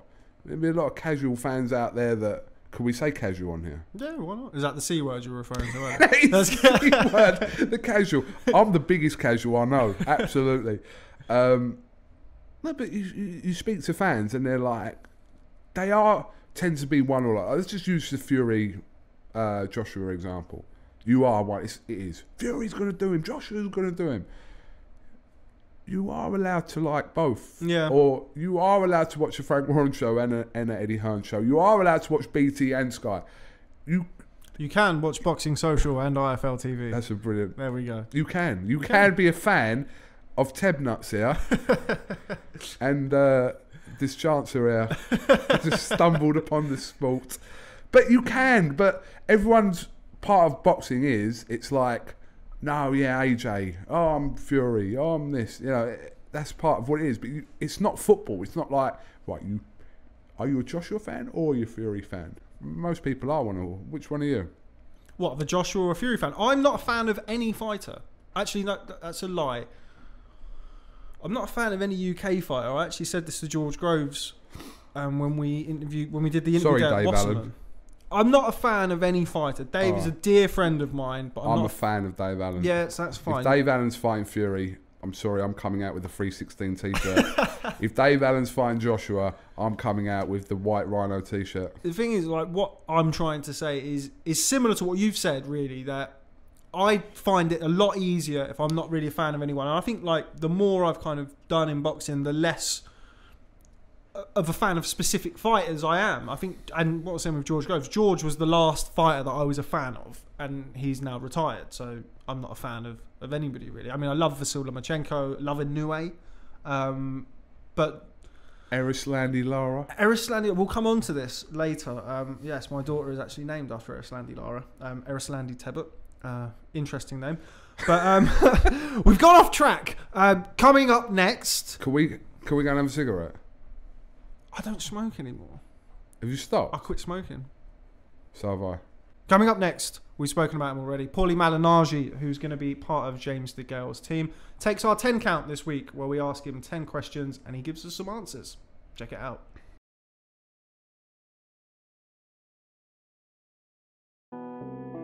Biggest influence? Uh, my uh, biggest boxing influence, uh, my favorite fighter growing up was Arturo Gatti. Uh, similar uh, background, Italian uh, family who moved to North America to make a better living, and he became a fighter. Same thing with me. So I always looked up to, looked up to Gatti as a kid. Favorite fighter growing up? My favorite fighter growing up was Gatti. You know, that was my biggest influence. You know, without him, uh, you know, I wouldn't have uh, uh, given so much thought about into boxing. You know, he was uh, he was a somebody that my family cheered for, my family rooted for. You know, Favorite fight? favorite fight is probably one of the Gatti Ward fights, or Meldrick Taylor versus Julio Cesar Chavez one.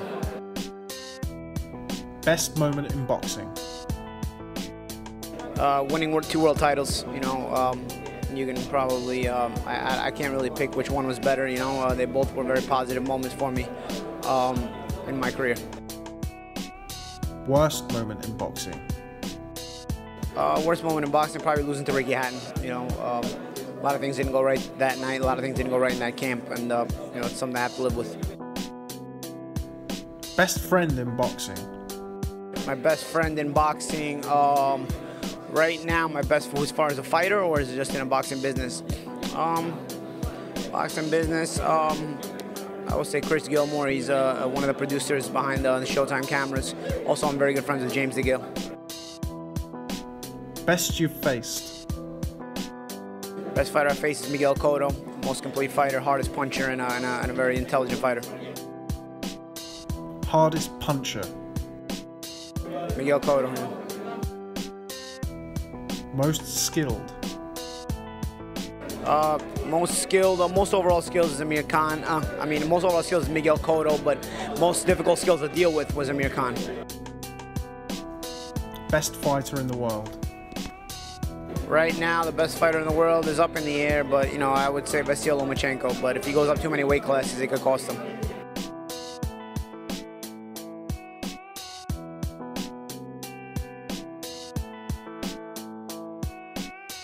So that was the 10 count with former two weight world champion Paulie Malignaggi.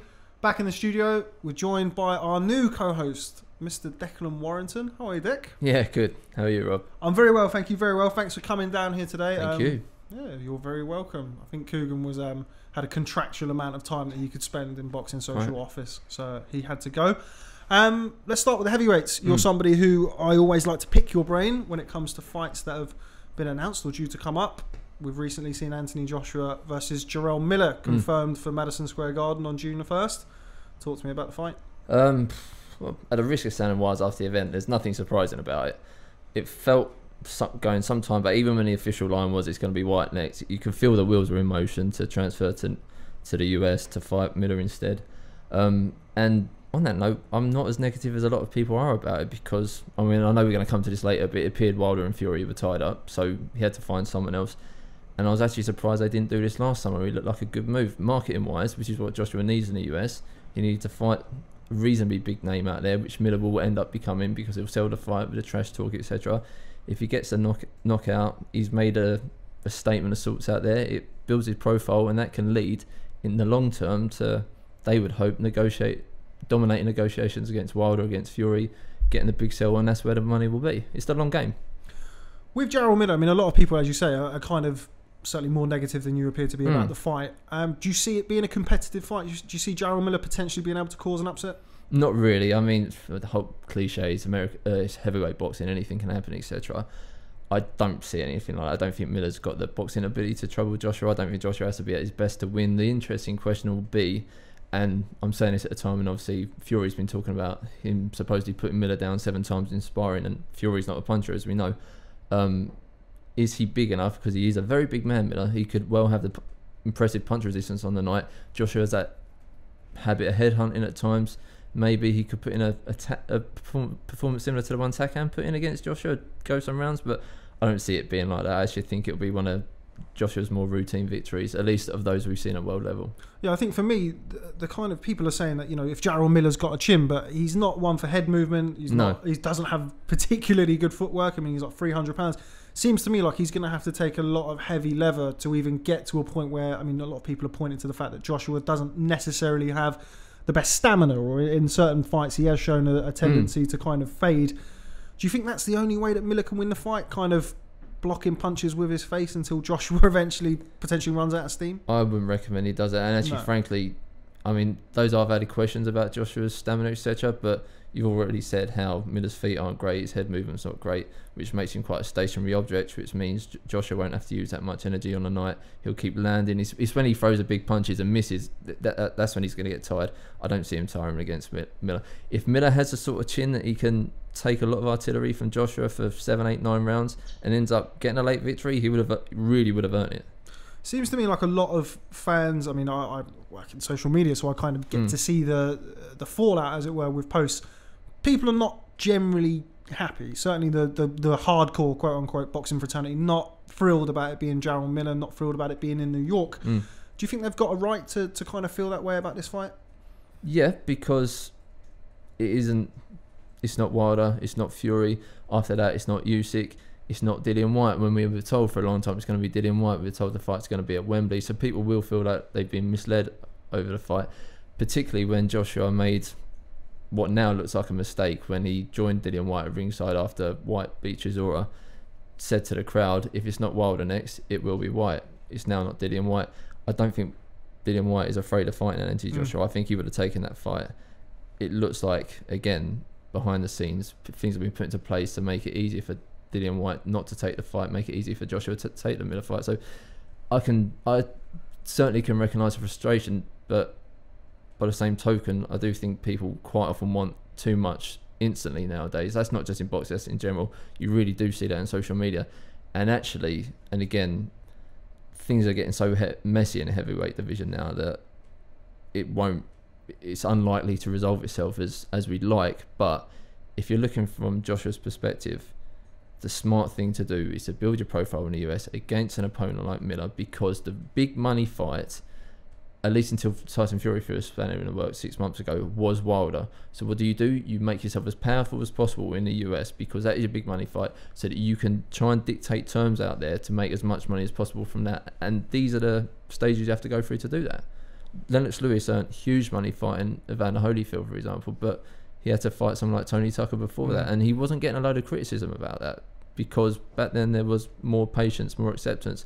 Now, because everyone's got a voice, it kind of and people can get misled very easily. I, again, it might not be the fight people want, but I think people are being too harsh in their criticism. And one thing I will say about Joshua, all the criticism he's getting, I think should be directed at those around him because he is not afraid of anyone. Maybe he should be. Maybe there are fights he would lose, but Joshua would 100% believe he can beat any fighter out there. He would fight anyone. Just final word on, on kind of Joshua, and uh, it seems to me like obviously British boxing had somewhat of a boom, particularly the heavyweights. Hmm. I mean, you look at the top ten rankings; it's kind of stacked full of British fighters. Yeah. But in recent years, kind of the whether it's a misconception or not, but the idea of Britain being kind of the epicenter of heavyweight boxing, you're now seeing.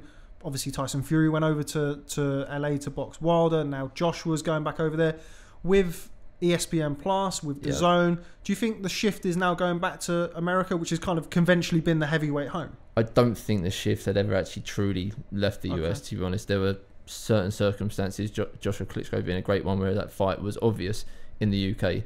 But overall, the, even when these fights are still taking place, when we're having these big occasions, Froch Groves in London at Wembley, for example, the big fights during those era, that era was still Mayweather Pacquiao. Around the time of Joshua Klitschko, you ended up having Mayweather and McGregor because the US market dictated it. Basically, that's where the great, best money is. You mentioned those fights. We've got Amir Khan and Terence Crawford Yep. going back out there now. So, in the coming months, it's highly likely our three biggest active names, Joshua Fury and Amir Khan, are going to be fighting in the US. And the reason for that is is because there is a bigger market out there, and I don't see that changing anytime soon.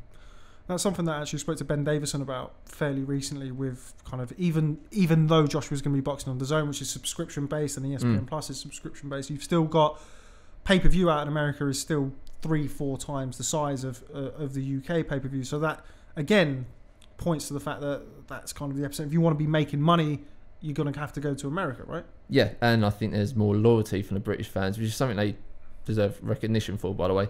British fans are far likelier to stay up and watch a fight in the early hours than Amer- American ones would be, I suspect, if they were asked to do the same thing. And also, the Americans get charged a lot more for pay per view Mm. than we do, a lot more. So again, all right, even if you sell more, even if more people over here are interested in watching the fights, you still get more money out of the US. Okay, well, we also recently had some news in the heavyweight division. Derek Chisora is linked up with Dave Coldwell, who I was lucky enough to speak to on the phone recently. Check out what he said. This is Rob Tebbutt for Boxing Social. Delighted to be joined on the phone by Dave Coldwell, the new trainer of Derek Chisora. How you doing, Dave? I'm all right. How are you? I'm very well, thank you. Very well. Appreciate your time on the way to football, so I'll make it quick. Um, talk to me about the link up with Derek Chisora. Took a lot of people, myself included, by surprise.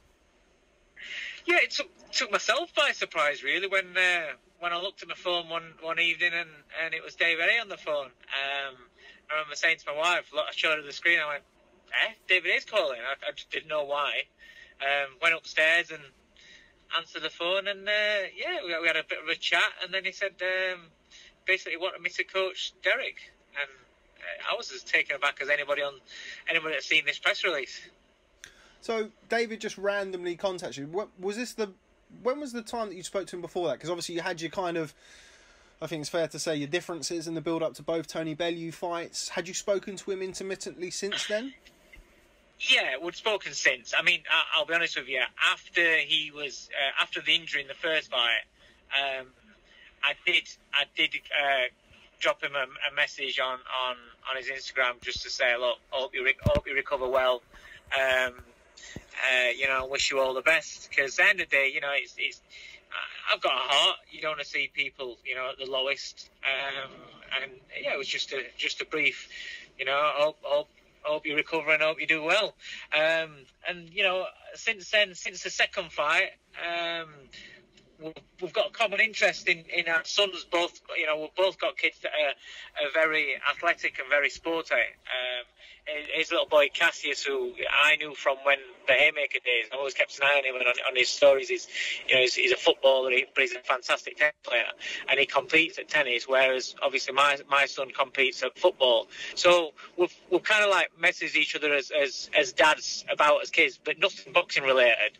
Um, the only time that we've really spoke, we, we was at a, both at a boxing show. I can't get who was fighting one of Eddie's shows, and we were both sat uh, ringside in in the sky seats, and it was the most we've ever spoke ever. Um, you know, even went back to the Hayemaker days. It was the most we've ever spoke. Um, we had a really good chat, uh, and again, it was just it was just about um, about uh, just the fights in general and, and things like that, and nothing nothing specific.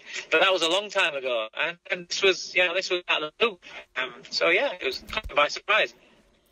Now, the last time I spoke to you was after the Cheeseman fight, um, when you were talking about the fact that you know you, as all trainers do, particularly people who take fighters on the pads, you get your injuries, you kind of wear and tear your Yeah. elbows, your shoulder, your neck, and your back. Yeah. You told me that you're not really looking at taking any big man.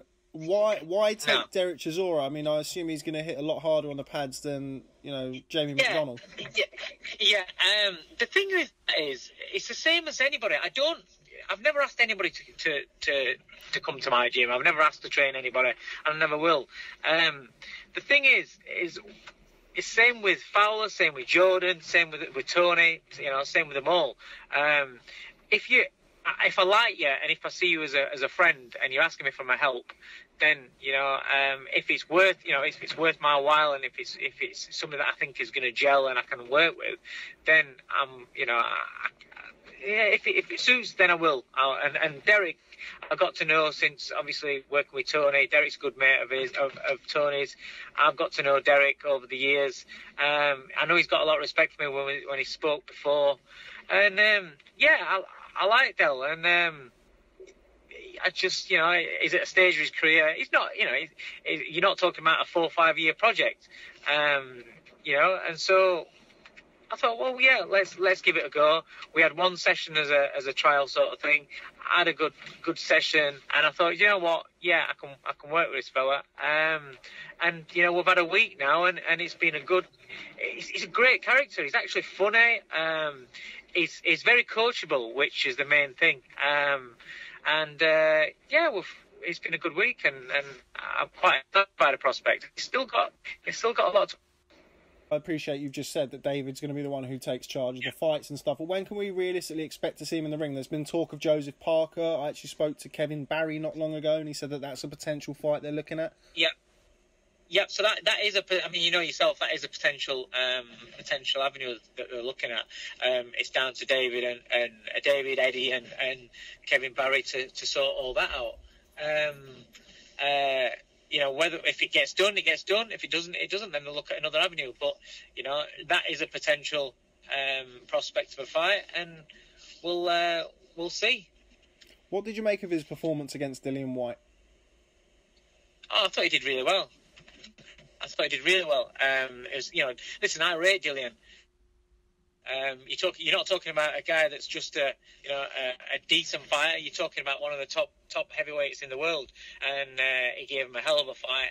And um, he, he just, I think, you know, when, when he lost those points, I think he, he, he panicked a little bit, started throwing things when he didn't need to, and, and trying a little bit too hard. And uh, and yeah, and then he walked onto an almighty left hook, which is heavyweight boxing. You know, heavyweight boxing, you're only ever one shot away from getting the lights put out. One thing I did want to talk to you about when you took David Price, you were talking about kind of dropping him down a little bit, uh, not dropping him down, the opposite, bringing his weight up.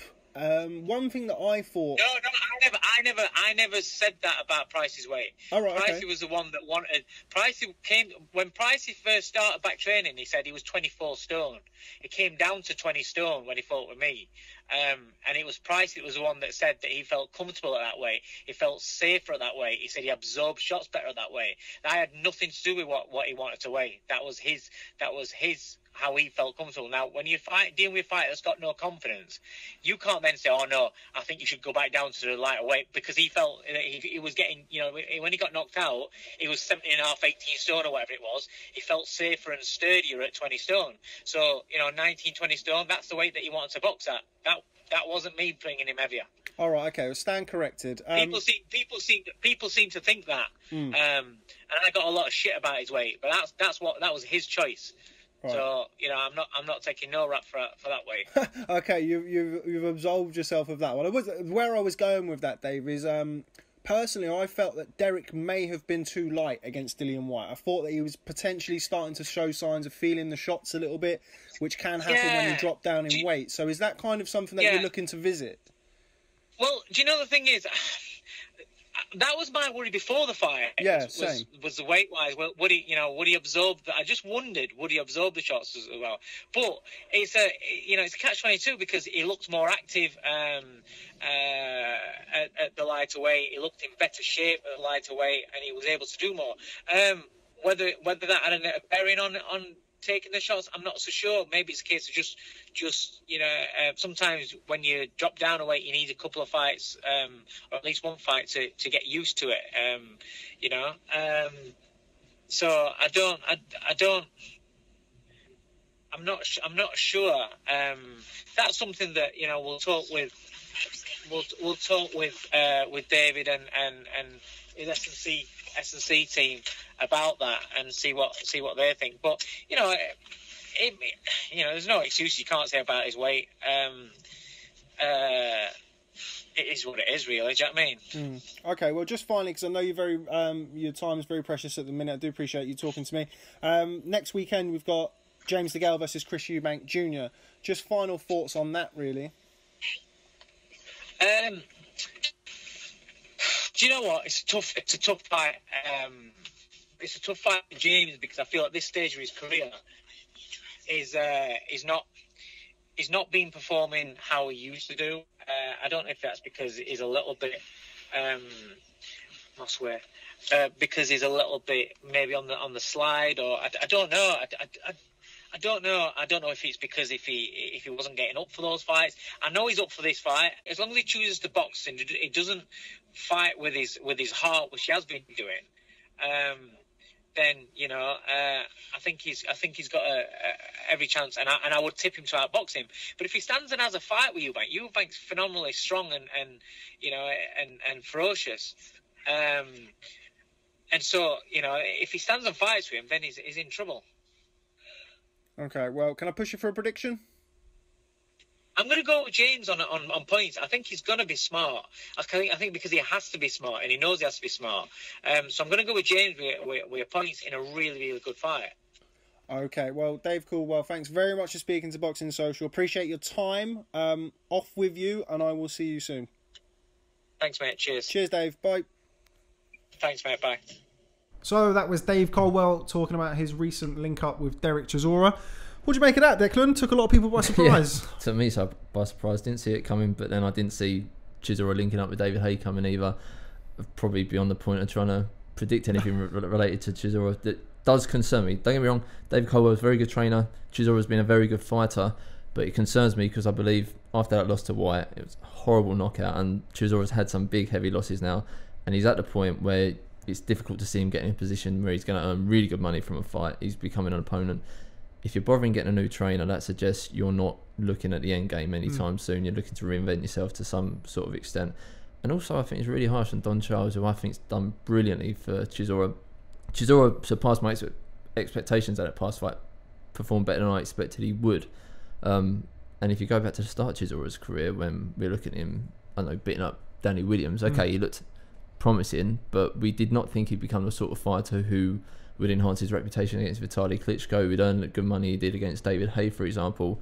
That is a fighter who, if you look back then, probably has surpassed expectations, and therefore, if your one trainer has led you or contributed to surpassing expectations, why would you change him? You know, Ch- Charles hasn't done Chisora any harm whatsoever, um, and I think that's been a strength. And actually, when he didn't work with Charles, was when he had some of his worst performances as well. Yeah, so Agit Kabayel fight. that would concern me, and that's not a reflection on Cole, where it just things seem to work rightly there. So again, if Cole had been working with him the start of his career, I'm sure he'd be, be every bit as good a fighter. Um, but harsh on Charles, and again, I Chisora's not someone I want to see fighting on for much longer at all. I wish he had retired after Whyte. So um, yeah, I'm not over the moon about it. Yeah, I think with Don Charles as well, I think it's it's no secret that Derek Chisora has his ups and downs from a mental point of view. Mm. Don Charles seems to have been somebody who is is able to rein him in and, and kind Yeah. of keep him focused where possible throughout his career.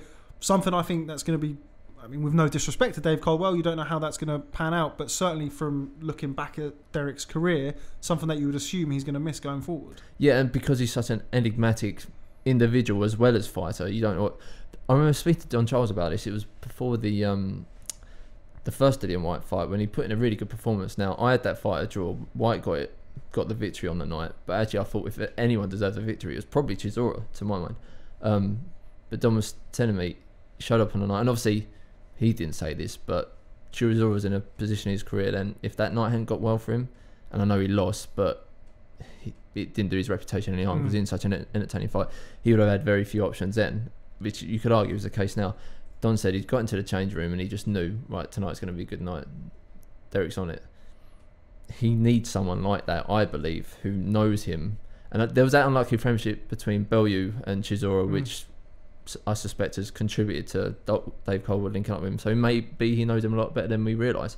Um, it may be it energises him, refreshes him, changes scenery, etc. That can be good for a fighter.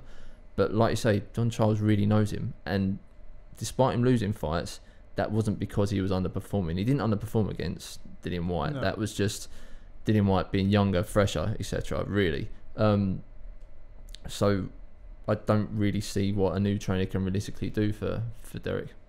Now, something that I spoke to Dave about in the interview, something that we actually, because we actually watched the um, the Whyte Chisora rematch together Mm. at the O2. Um, one thing that was quite apparent to me throughout the week, while Derek looked fantastic on the scale, Yeah. obviously working with Ruben Tabares and David Haye, he looked body beautiful, but didn't seem to be holding the shots as well. I mean, Yeah, he got hurt absolutely. badly in Yeah. the first round by Dillian Whyte and seemed to be getting hit and hurt throughout the fight Mm. before inevitably being knocked out. Now, Dave Coldwell said that he agrees with that, and it's something that he wants to revisit going forward. Is that something you'd agree with? Yeah, I do. I do. Um, I mean, going back to that night, you could see in the you know first couple of rounds he took some shots and he took and you could tell he felt them.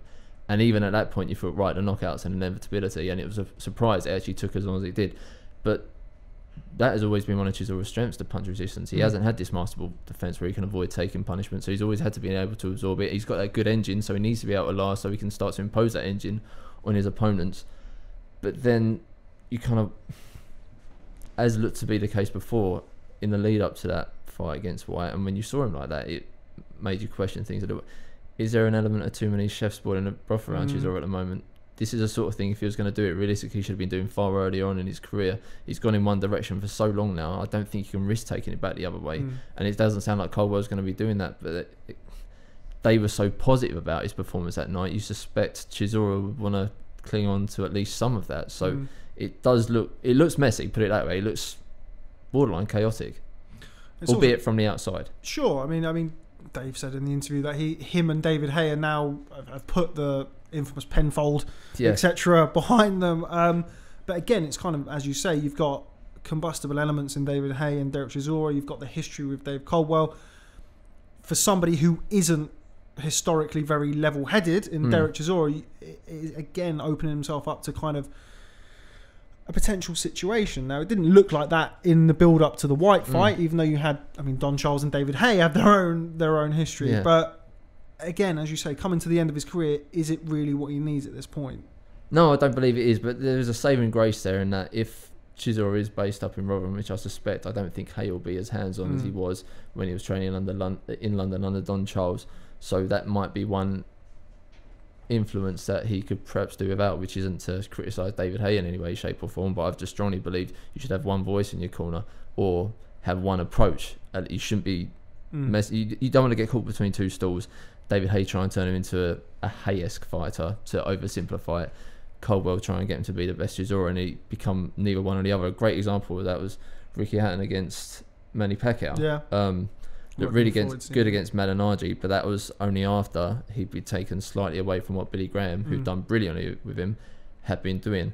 By the time he'd done another training camp with Floyd Mayweather Sr., had been working with him for even longer, he didn't become the fighter Mayweather Sr. was talking about him becoming, but he certainly had lost so many of those traits that made Hatton such a strong fighter, and he was just a rabbit in headlights, completely exposed, n- n- not doing either one or the other, and had a really devastating night. Just final word on Derek Chisora. There's been a lot of talk about him potentially fighting Joseph Parker. Yeah. Um, last time we saw Joseph Parker over here was against a mutual opponent in Dillian Whyte. Does that fight appeal to you at all? Um, Considering the fact that you did just say that you, yeah, you prefer to um, see Derek retire, but Well, he's certainly Chisora as an opponent again. Mm. Um, look, I, I've got Parker predictions wrong before. I thought Parker was going to lose against Dillian Whyte, and I think I still think he's quite a talented fighter, particularly if the hunger's there. He's a good opponent for Parker because the market isn't there in New Zealand. He's probably quite popular over here now, having Mm. been in an entertaining fight against Whyte. He's a very likable individual. So if he gets a win there, it's an entertaining win. Doesn't do any, him any harm. Similarly, Park has that reputation, has that profile. If Chisora wins, it's a good opportunity for him. He can good opportunity for him to rebuild, move into another big fight. Moving on to Dillian Whyte, the man in the other corner, as it were. Um, something that I've spoken to you about on numerous occasions Mm. kind of the progression of Dillian Whyte as as a fighter. Yeah. Could never really have seen him become what he has become. That's no disrespect to Dillian Whyte. Um, no, I agree. Yeah. But he has become, I mean, a, a, an A-side pay-per-view fighter, as he showed against Joseph Parker. terrific career progression from him. Yeah, brilliant, brilliant. I can't tell you how much I admire. And I really admired him when he was first coming onto the scene, by the way, particularly after that Joshua fight, because just the punch resistance he showed, the fearlessness, the gut. I mean, those are traits you don't often see at in the heavyweight division to that extent. And he he really showed him. And you kind of thought Whyte's just going to be fun for as long as he's around. But for a long time after that, he looked fringe European level at best. He made that fight against Parker, where I thought Parker's just too good for you. Unfortunately, he's a superior boxer. And what surprised me was that not only did Whyte win, he won in what wasn't actually a brawl. There were elements of brawling, but Whyte showed better boxing ability than Yeah. we've ever seen. We've been talking about trainers for example. Mike Tibbs has done a brilliant job with with Dillian Whyte because again he's completely different from the fighter we thought he'd become. Already a better fighter than we thought he'd become, and again the fact he's been squeezed out on the heavyweight scene a little bit probably hints at the fact a few fighters are looking at him. Don't get me wrong, I think all three champions will beat him. But all three fighters are looking at him thinking there are much easier fights out there than Dillian Whyte. If Joshua got drawn into another slugfest against Whyte, that could go wrong. I don't think it would. I think it would. Likewise with Whyte. Um, sorry, likewise with Wilder. So, I we're talking about the top three heavyweights in the world.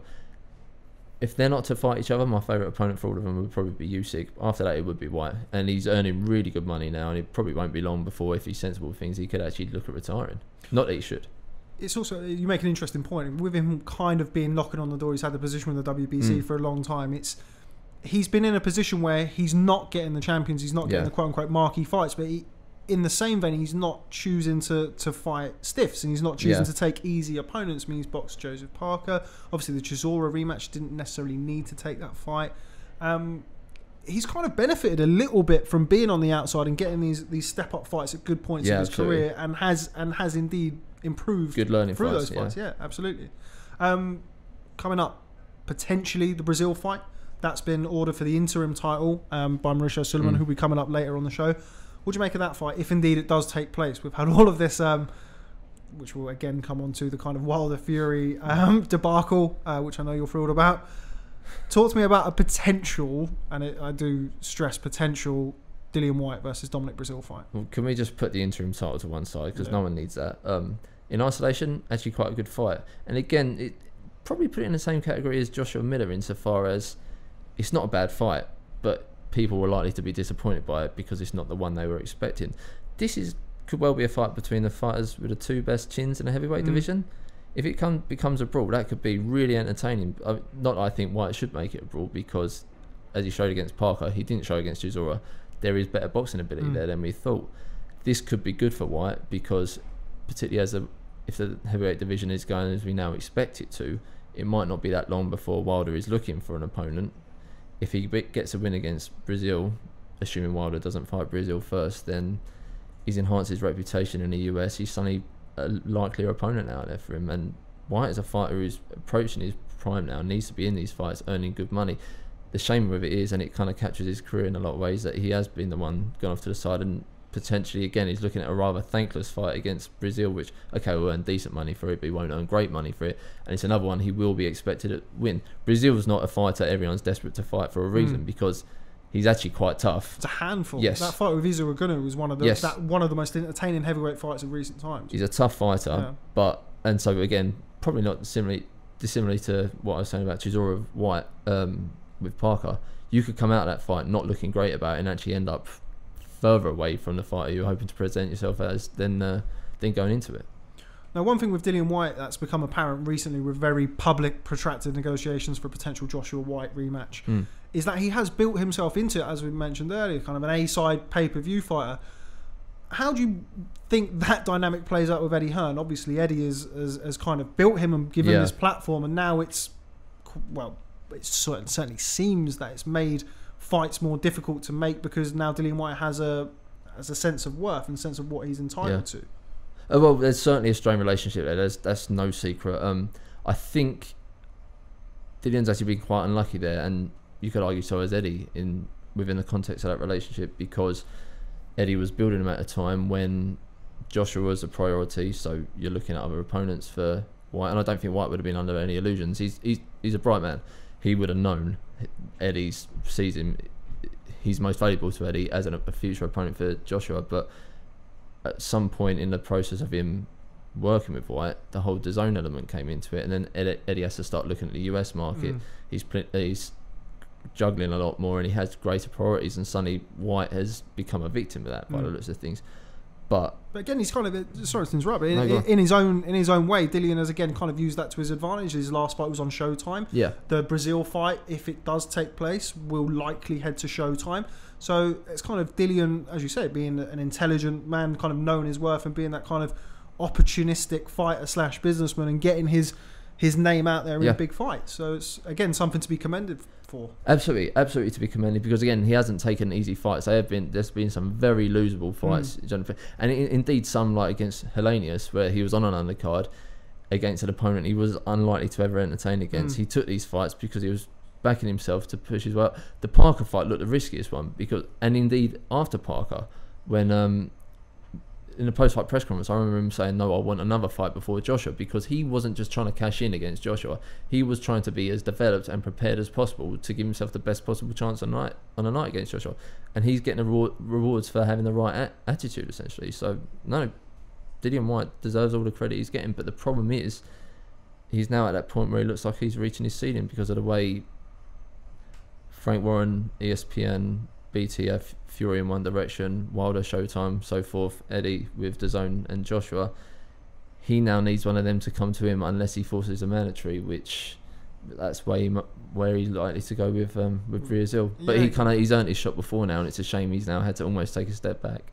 It would certainly indicate going that route. And I know the Mm. the Breazeale fight, Dillian's been very vocal about that. That was the fight because there's also been the Povetkin fight was rumored. Yeah, another Ortiz fight would fight anyone. Yeah, Yeah. sure, exactly. Um, but it, kind of looks as if that he's gone that route to try and potentially chase down a, a, a Wilder fight. The Joshua fight will always be there, kind of regardless of what happens. So I think he's kind of hedging his bets in that regard. If it's not Breazeale, um, and again, this is this is a difficult question, or a certainly more difficult Yeah. question given the the news today with um, ESPN Top Rank and Tyson Fury. But who would you like to see Dillian Whyte fight if it's not Dominic Breazeale? Well, I can tell you before it was looking like it was going to be Breazeale that Povetkin was certainly the likeliest opponent, and I actually think he's better off fighting Breazeale than Povetkin because that would have been a really good fight. Don't get me wrong, but that's a dangerous one. That's a risky fight, and we've looked at Whyte quite a few times now, and he's gone into fights where again he's consistently proven us wrong. But you at least thought you could lose this, even if you didn't think he was going to lose this. And I think boxing is a sort of sport, particularly heavyweight boxing. There's only so many times you can roll the dice and actually not be undermined at some point. So I think he is. I would rather, if I was looking after Dillian Whyte, I'd rather he ended up fighting Breazeale than um than Usyk. Sorry, than Povetkin. Okay, well, coming up next, I was lucky enough to speak to WBC President Mauricio Sulaiman once again on all things Whyte Breazeale, Wilder Fury 2, and the WBC Clean Boxing Program. Check it out. This is Rob Tebbutt for Boxing Social. I'm delighted to be joined here on the phone by Mauricio Sulaiman, the president of the WBC. Mauricio, how are you? I'm fine, thank you. I'm doing great here in Mexico City right now. Great, fantastic. I'm just going to get straight down to business, Mauricio. Um, recently, we've been greeted with the news that the WBC have ordered Dillian Whyte versus Dominic Breazeale for the WBC interim heavyweight title. Just tell me a little bit about the process of that fight being made. Sure. Uh, the WBC, uh, as you know, we have a rule which is a situation regarding the mandatory contender and the mandatory defenses by each champion, which has to be once per year. When uh, Wilder uh, fought Stiverne in that same card, Breazeale won the final elimination bout, became mandatory challenger. Throughout last year, in 2018, the WBC had as a priority to try its best efforts to have Wilder Joshua become a reality. And for several months, there was uh, ongoing negotiation for that fight, and Breazeale accepted the fact that the WBC would support such fight. At the end of the year, it did not come to fruition, and Wilder was scheduled to fight Fury. And the WBC supported that, same as Breazeale. It was such a great contest uh, with bringing great attention to the heavyweight division.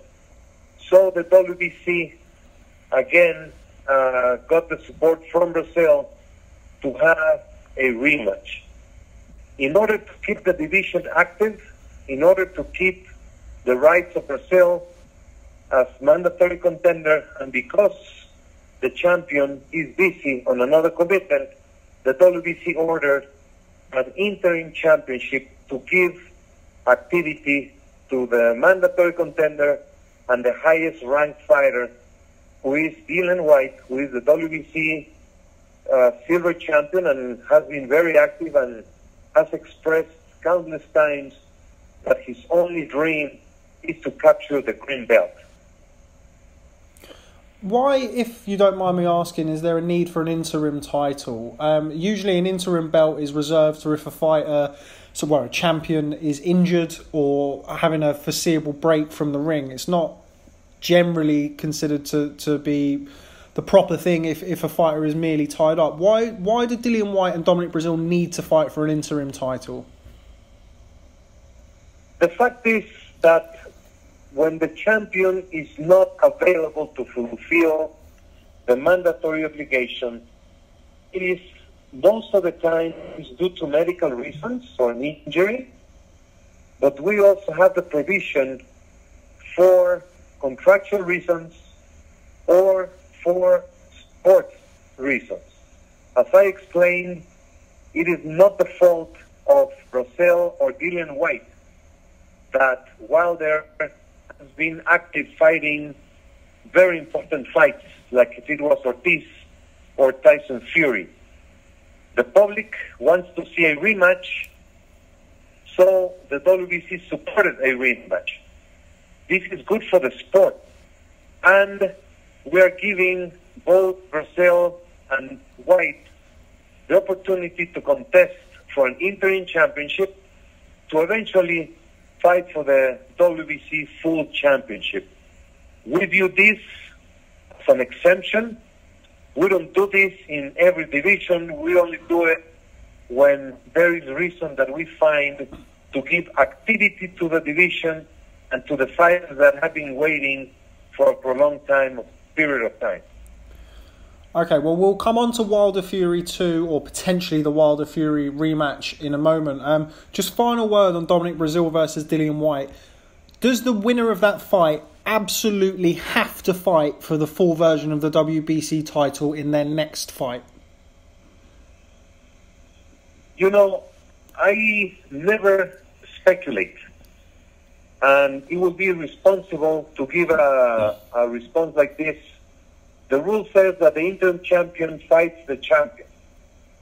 Uh, there is always possibility of even the interim champion wanting to have another fight. So the interim champion becomes the mandatory contender of the division, and when the specific, when there's an interim champion, we wait until there's an interim champion, and then when the champion has also had his, his uh, commitment fulfilled, then that's when we proceed with the order in the fight. I've just been to a press conference today, Mauricio, where Tyson Fury and Frank Warren revealed that Tyson Fury is now co-promoted by Top Rank and has an exclusive deal with ESPN Plus. Now, in a lot of people's eyes, that throws up quite the obstacle from a television broadcast perspective of making Deontay Wilder versus Tyson Fury 2. Do you see that? Well, uh, I, I, am not uh, certain. The WBC, uh, in difference with other sports, the organization is not involved in the business side of the sport. We're involved in the medical and administration and uh, everything that has to do with the running of the sport by itself. Of course, uh, the negotiations that were ongoing throughout January and this part of February were uh, communicated to the WBC by both sides that everything was uh, moving smoothly in good in good uh, uh, good faith negotiations between the parties, and that's why both requested additional time to finalize the agreement. Today, news, of course, comes in as a new uh, player that could interfere with those negotiations, but that is up to the parties. I'm going to contact them today uh, to understand the status of the negotiations that they have been communicating to the WBC and then assess the situation uh, regarding this matter. What is the latest on the negotiations as you understand it? I appreciate you've got to make the phone call today, but what was the last you heard with regards to negotiations for Deontay Wilder versus Tyson Fury? The last communication I had was Friday. So today, starting the day, was uh, news. So we're going to go through the protocol and, and have the communications with both sides and understand what is the position of both, and then uh, I will inform the WBC Board of Governors of the specific situation, uh, and then move on uh, with whatever has to be done. What would happen in the event of if that fight doesn't happen? Now it's been ordered by the WBC. What would then happen? Would Deontay Wilder have to relinquish his title? Would he then have to fight either one of Dominic Breazeale or, or Dillian Whyte? What would happen if, for whatever reason, Deontay Wilder and Tyson Fury cannot come to terms? Would the purse bid still be called? No, I mean, if it, it all depends. Maybe one of the fighters withdraws. Um, I, as I mentioned before, I do not like to speculate because any comment that I do could be considered as a official position. The WBC is clear. We are waiting for them to come into agreement. If they do not reach an agreement, then we have to understand if both fighters are willing to take the fight or not. Then we have to uh, rule according to the specific of what is today. So anything that I say could be misinterpreted. What I'm going to do, I'm going to contact both sides and then have the specific uh, position of both in order to continue with the WBC uh, administration of the heavyweight division. I appreciate that. Final word on potential Wilder Fury rematch. Would the winner of that fight, in your opinion, would they be obviously they'd have a mandatory challenger, but would you be willing to in future grant an exemption for them to potentially unify the division against the winner of Anthony Joshua versus Jarrell Miller? That's a possibility. As I say, uh, and I repeat once again, uh, I do not speculate. The rules are clear, and exemptions to the rules are clear. And the world has been waiting for a great fight uh, between the champions, which we are supporting as well. But at this time, we're concentrating in the two fights that the WBC has control. The rematch between Wilder and Fury and the WBC interim championship between Breazeale and Whyte. Final question, Mauricio. Jarrell Miller was ranked with the WBC. Um, he was then removed from the rankings due to not complying with the WBC clean boxing program. Can you confirm whether or not he is indeed, um, if you're willing to rank him, has he joined up by the WBC clean boxing program as it stands? Yes, uh, he was uh, contacted in two separate occasions uh, and he did not enroll in the clean boxing program, program for whatever reason. So our guidelines, our rules say that uh, we cannot rank a fighter who is not enrolled, and that is what happened with Miller. So that was WBC President Mauricio Sulaiman with some interesting points there about the WBC interim title. Uh, you're not a fan of interim titles, Deck. Um, are you? No, we've already got too many as it is. Yeah. Uh, WBC aren't the worst offenders. WBA are by some distance. But look, going back to Whyte Breazeale, for example, it's a good fight as it is. It doesn't need that to be sold, and everyone knows there's the likelihood that the winner of that is really in line to fight Wilder, or indeed whoever else the WBC champion might be uh, when when their turn comes. So, what's the interim title doing there if not just the WBC shamelessly promoting themselves as Mm. we've known them to do? Yeah, and it's um, sanction fees as well, Yep. which is, is another big issue in the sport. The more belts, the more sanctioning Mm. fees, and the more people pay the sanctioning fees, the more belts Yeah. continue to crop up. Um, obviously takes us nicely into where we've been today. Um, the Tyson Fury Mm. shock announcement with Top Rank and ESPN, which, in my opinion, and I know you feel very similarly, kind of looks like the end of Wilder Fury 2, certainly anytime soon. Um, just your thoughts on that announcement. Yeah, um, like you say, it looks like the end of it, doesn't it? It's very difficult not to come away from that being anything other than really pessimistic about the odds of that fight getting made next, and really frustrated about it, about the timing of it. When we're on the heavyweight boxing's just had this, albeit mini revival. I say mini because it hasn't been prolonged in any way, Mm. but it's had this great impact. We had the Joshua Klitschko fight, which everyone loved. Fury's got this great human story. He's come back, lots of publicity going into the Wilder fight, and one I thought he'd lose. I think a lot of people probably thought Yep. he'd lose. How could he come back after living as he had the previous three years? Only had two fights. Have any hope of winning a fight like that? Now he boxed beautifully on the night in a really entertaining fight, which again I did not think it was going to be anywhere near as entertaining as that. Gets everyone's attention. The one fight in the world I think most people wanted to see now was Wilder Fury the rematch because it was so entertaining first time around. It needs to be settled, particularly after the way the first fight was, and the timing of it. That that's what makes the timing this so so frustrating because Fury effectively already had the world at his feet. Um, I don't see how you could watch that first fight and not make Fury a significant favourite for the rematch. So why are you doing what appears to be a really pragmatic move?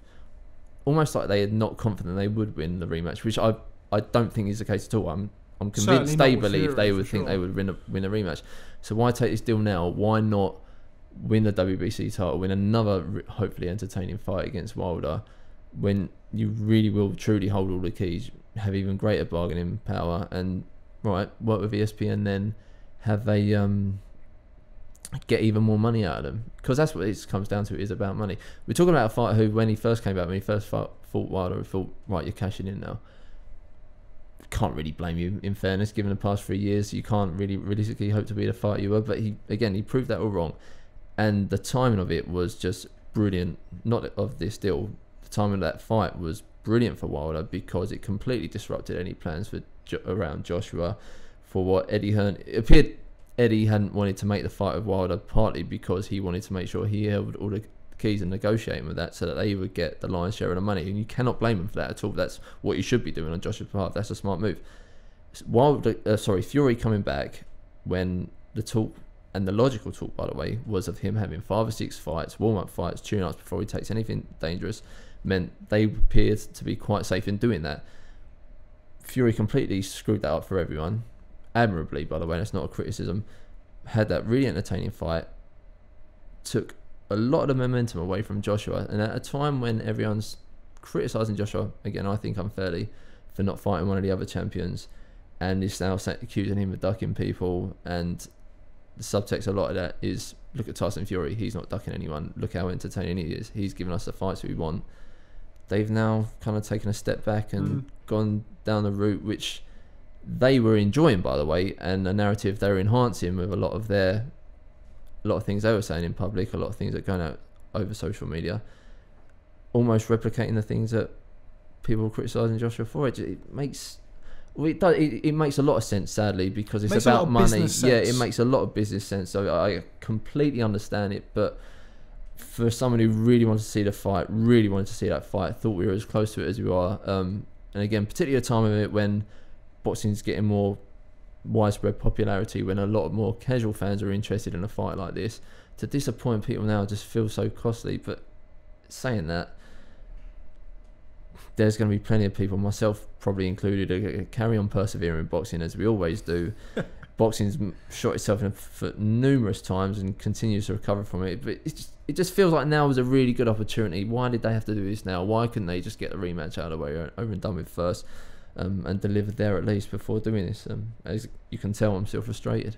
Yeah, and it's something that we spoke about today when kind of the news broke, and it was. It's very rare in boxing that news that big does get kept secret, Yeah. like it has done. Um, we obviously knew we were going to a press conference today, but we didn't know what, and we didn't know what was being announced. Obviously, the initial thought was potentially Wilder Fury Two had been announced.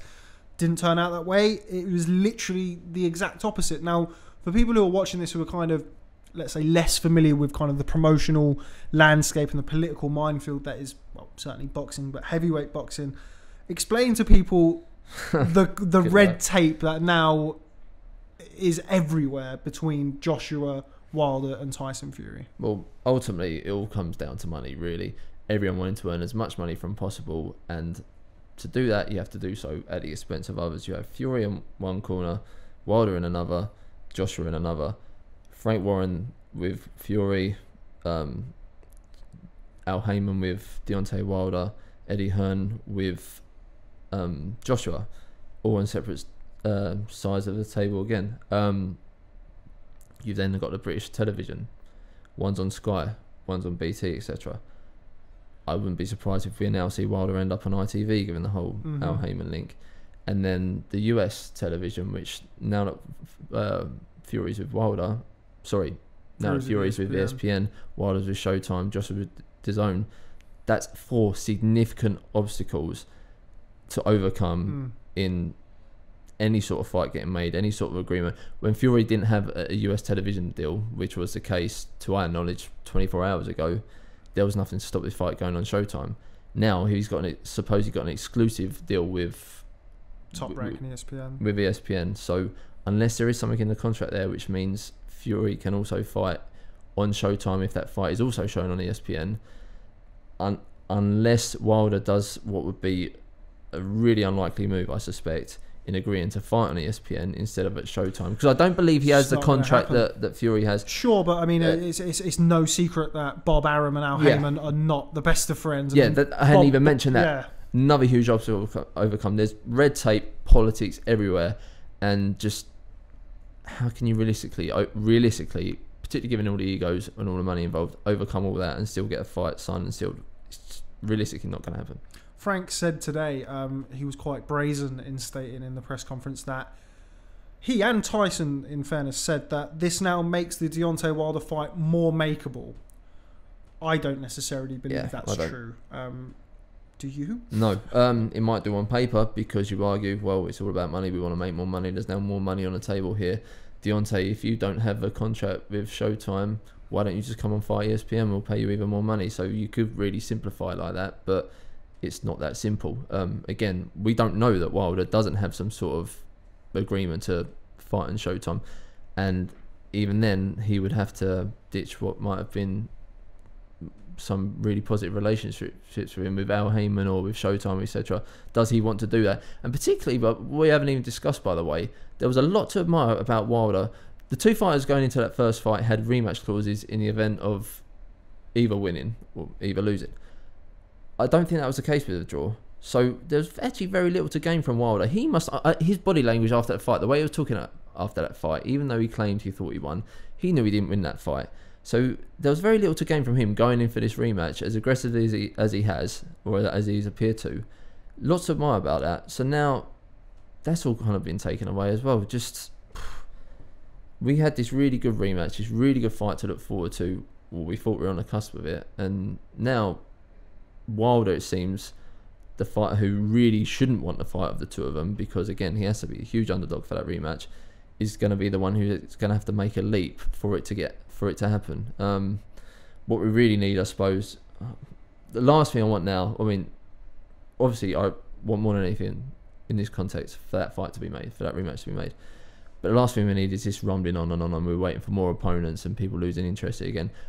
We want Fury out in May, Wilder ASAP after that if they're not going to fight each other soon. So probably just need the WBC to call purse bids immediately so that it can be nipped in the bud one way or the other. Because if they're negotiating, I suspect if if they are negotiating, it's all about the pub, um, the PR aspect. We wanting to be seen to want the fight, but wanting to make.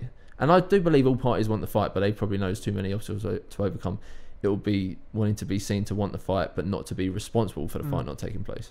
Yeah, no, I agree with that. Um, you make an interesting case with, with regards to purse bids, but we've also seen in the past Al Haymon fighters in the past vacate titles Mm. uh, rather than fight on different networks or rather than take certain fights at certain times. So even if purse bids were called by the WBC, there's no guarantee that that fight will indeed take place next.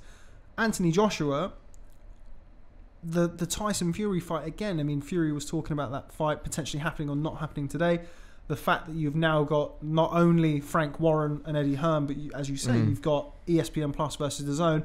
That fight is also pushed further and further away. I suspect pop, pop, that rivalry is possibly even more intense than Yeah. the one we see between Warren and Hearn, which we know a lot about as well, by the way, and Mm. even possibly even more cutthroat. and it's also Deontay Wilder has, has I mean, the, it's no history. I mean, we've heard enough about it. This kind of Shelly Finkel Eddie Hearn relationship, Al Haymon and Eddie Mm. Hearn and Showtime and DAZN are, are hardly the best of friends. So it's really, it's as you say. I think you put it very well in the sense of boxing always kind of finds a way to shoot itself in the foot Mm. with regards to promotional politics getting in the way of where we kind of were, which was on on the verge of potentially all three of these guys fighting within the space of 12 to 18 months. I think it's a real shame for the sport. Yeah, yeah, it is. This could have been like, era defining, really. Um, I know it's been a long time since we had the truly defining uh, heavyweight champion that Lennox Lewis was. Everyone, for some reason, overlooks Klitschko, goes back to Lennox Lewis. But even then, at the very end of his career, that wasn't the interest in the heavyweight division wasn't quite what it Mm, was no. because he had the Tyson fight, which a lot of people wanted to see, but everyone knew Tyson wasn't the fighter he was. And you had to go back. You probably had to go back to the nineties Mm. when Holyfield and Tyson were fighting for there to have been the interest. I believe there would have been in any sort of fights between Joshua, Wilder, Fury, etc. And also, and crucially, I believe these three fighters are at their collective peak. Joshua might have a bit more improvement to get. I don't think Fury's going to get any better. I think he'll be a lot better in the next time he fights, having had those 12 hard rounds Mm. against Wilder. But I don't think there's much more to come from him in terms of ability and talent. Um, Wilder may will probably improve a lot off the back of that fight, but I don't think he's going to get much better, Mm. and he's not particularly young, so sooner or later he's going to start declining. These fights are going to be at the best they're going to be right now, and this opportunity is on the verge of getting missed, and forever.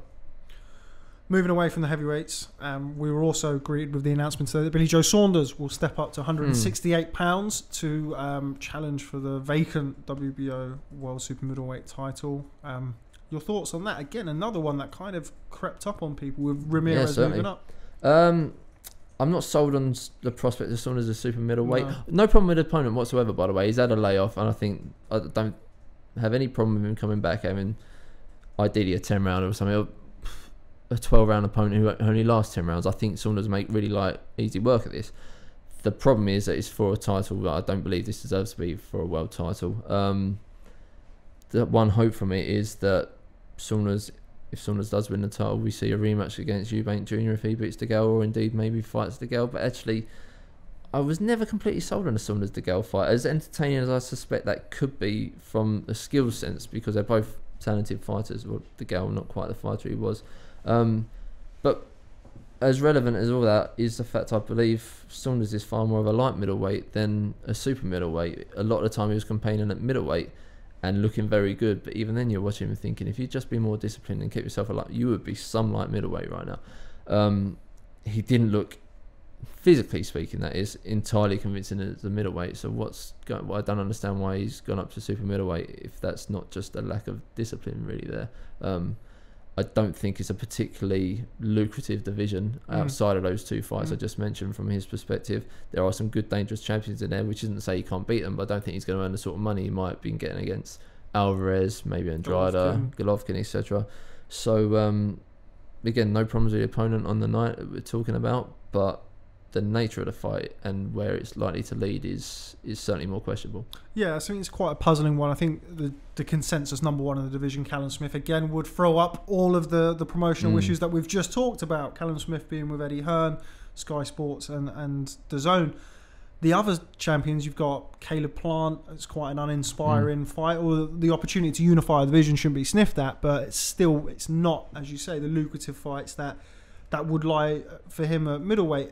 Do you think potentially the fact that I mean Eddie Hearn and DAZN seem to have kind of, or DAZN in general, seem to have kind of locked off the middleweight roster, as it were. You've got Canelo boxing Mm. on DAZN, you've got Danny Jacobs, Demetrius Andrade. Do you think that might have been a factor in pushing him up to super middleweight? I can certainly see that. I can certainly see that. The only one thing I would say in that is um, I don't think it's quite as problematic as the heavyweight division Mhm. uh, situation we've just been discussing. They have it locked off, yeah, but largely from an American perspective, Mm. I think I, I don't think it would be as ruthless in the UK from a UK perspective. Saunders is very much a British fighter Mm. who doesn't have significant appeal in the US. Who, if he's going to succeed, he's going to uh, succeed on British television. So I don't think that should be as difficult.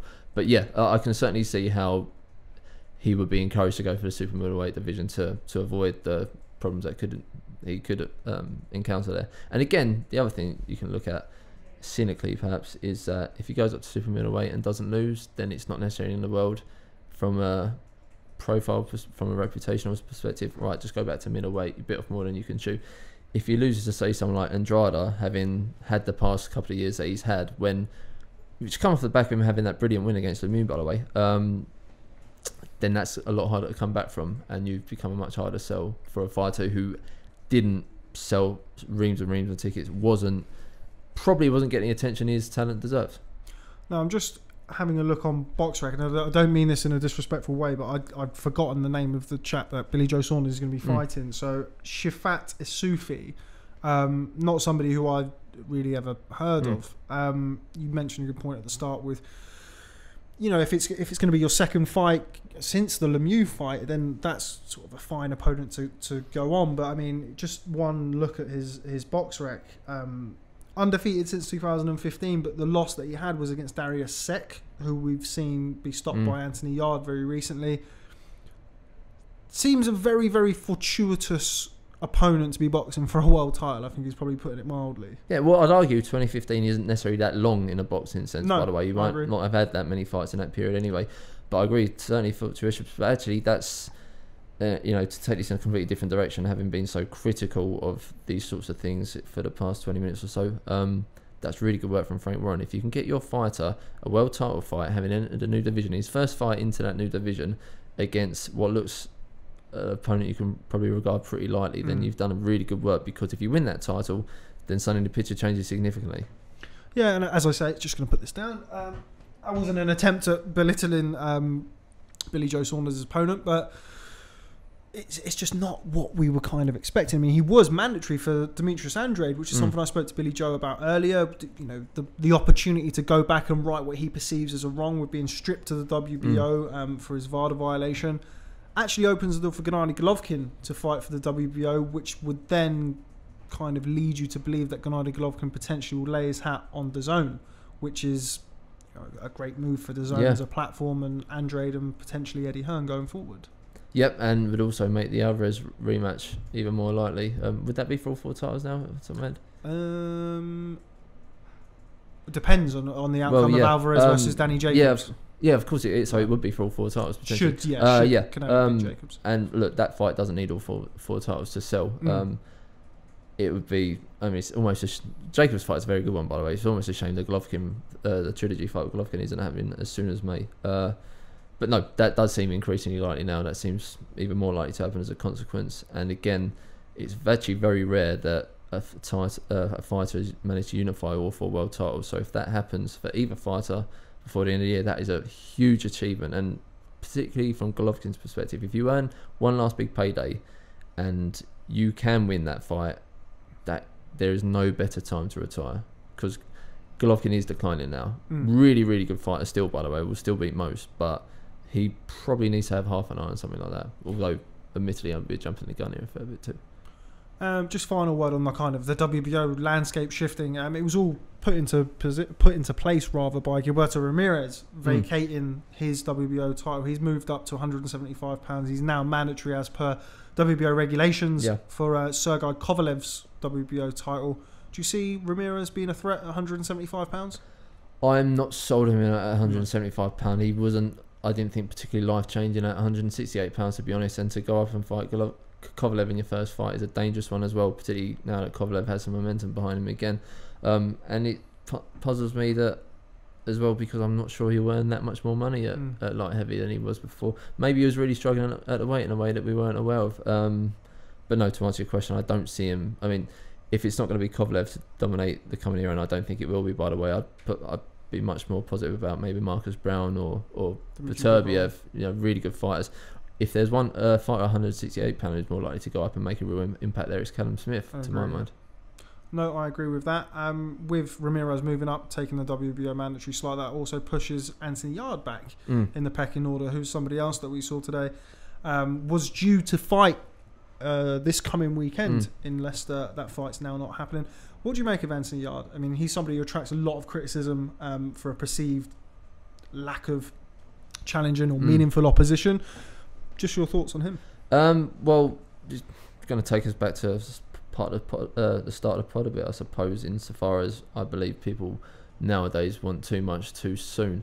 We're talking about a fighter who I I actually consider to be quite promising. His progress does appear to have stalled, um, but he has a lot of the attributes a fighter would need to actually become successful and a threat to the other fighters in the in his division. Um, we're also talking about him, I believe, being with the perfect promoter for him. Mm. Um, other promoters, for example, are good at bringing the best out of really marketable fighters. For example, fighters who might have some sort of social media or celebrity appeal. I think Frank Warren is brilliant at guiding a career. Um, and okay, I can appreciate why some people think it has been a bit too cautious, but Warren tends to get those things right pretty consistently. Good judge Um, of talent, yeah, Frank, historically. Very good judge of talent. When Yarde first came onto the scene, you could see why he why Warren was, was quite excited about him. Um, physically, he's good. Technically, again, he appears to have stalled. But if he needs time to become the fighter that he, his trainer, that Frank Warren hopes he can be, then you give him that time. Um, I know it's been a while since he's fought, but that's not necessarily just his fault. He was in line to fight in the, the undercard of Wilder Of Fury. That Fury, fight yeah. got cancelled. I don't believe that, that was his making that got Mm. cancelled.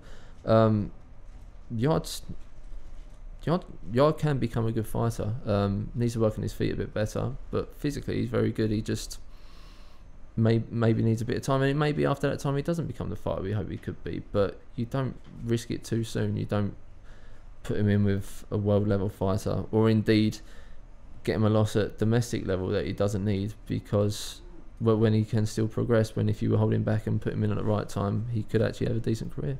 I think in a way, Gilberto Ramirez moving up has kind of given Anthony Yarde a little bit more breathing space to Mm. get those kind of fights and get that experience under his belt. Um, just quickly pick up on what you've said there about a domestic fight. Hosea Burton is, a, is another fighter who's been kind of calling for that fight. A lot of people want Yeah. to see the Josh Buatsi Well, Anthony Yarde fight. the fights. Yeah. Um, yeah, well, you've just said it there. Just elaborate on that. The potential Joshua Buatsi versus Anthony Yarde fight down the line would be huge. I think if that, that fight could sell out the O2 quite comfortably. Yeah, definitely. Um, and you know what? If you made it at the right time, um, this makes me think of Frampton Quigg a little bit Mm. because ha- that should have been made a lot earlier on in their careers. Um, but I think both fighters, they particularly Quigg, improved so much that regardless of how the first fight went, you could have made a rematch, Mm. sold a rematch, and said, "Oh, it could be different this time around." Groves DeGale being a great Yeah. example of that. If George Groves hadn't retired, if James DeGale was to be Chris Eubank Jr., there would be no one who wouldn't want to see Groves um, fight DeGale again. This would be like that. I don't think Buatsi is a really talented fighter, possibly our best of that Rio 2016 crop. Mm. Him or Josh Kelly has a really high ceiling.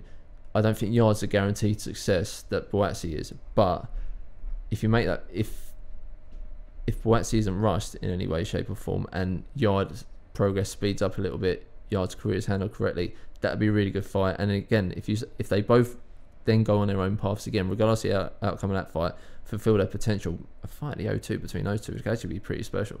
Yeah, that'd be huge. Um, coming up next, I'm going to be joined back in the studio by my old friend, Mr. Kugan Cassius from IFL TV in association with MTK Global, as we go outside the box and discuss our roles in video journalism, I guess you could call it.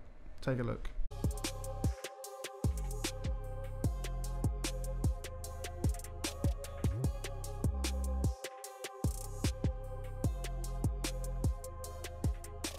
Welcome back to this week's episode of Outside the Box. I'm delighted to be joined once again by Mr. Kugan Cassius from IFL TV in association with MTK Global. this week, um, as I said at the start of the show, we've developed a little friendship. Um, been good to get you down. You're somebody who I used to watch and used to listen to when I was not that many more than a fan now, but just a fan, if you want to put it that way, um, for a long, long time. Interesting, you said used to.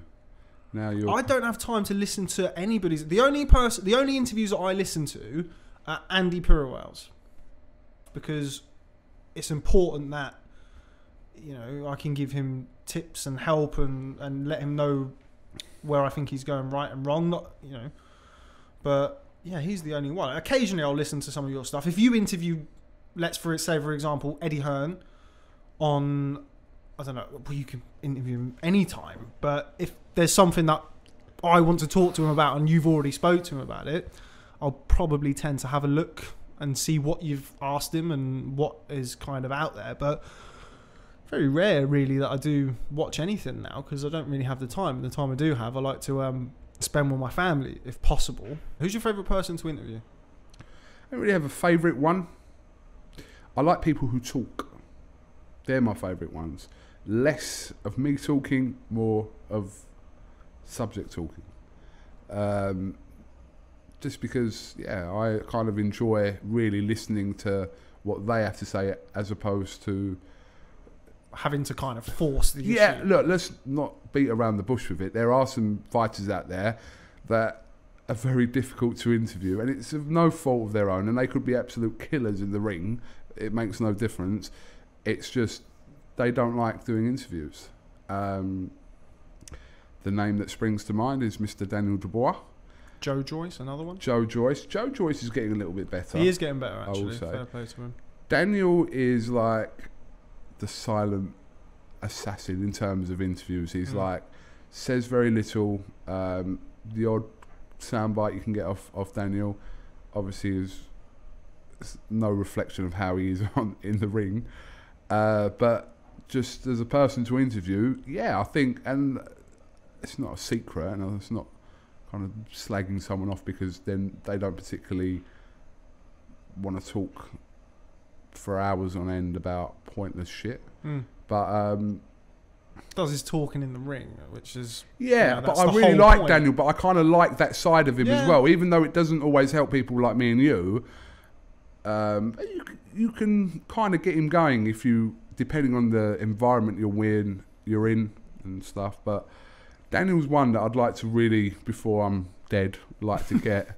No, like to get a proper bit from at some point. It's it's quite good that there's people out there like that that you kind of work your way into getting more out of. And I think you have to kind of be mindful of that and respectful of that. A lot of people, like, not everybody's going to talk to you for 45 minutes, like Dave. Allen, who's going to talk to you about literally everything. Um, and you can't.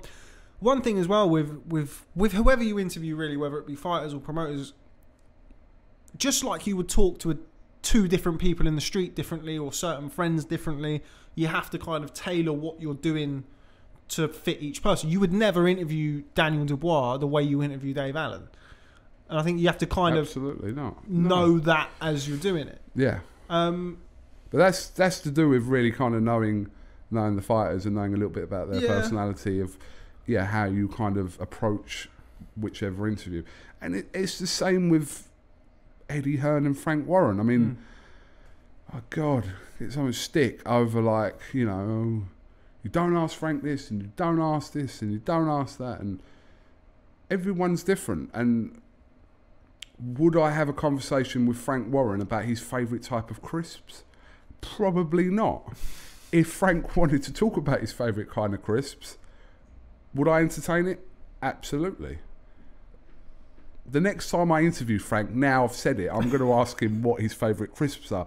But Hearn will sit there talking about pickled onion monster munch and whatever other bollocks for five minutes before we've even talked about a fight. But the interaction from them clips is like great. I just think it's just like it's not cutting edge journalism. I get that, but people kind of tweeting me pictures of like Brannigan's roast beef and mustard every day, going, "I found them."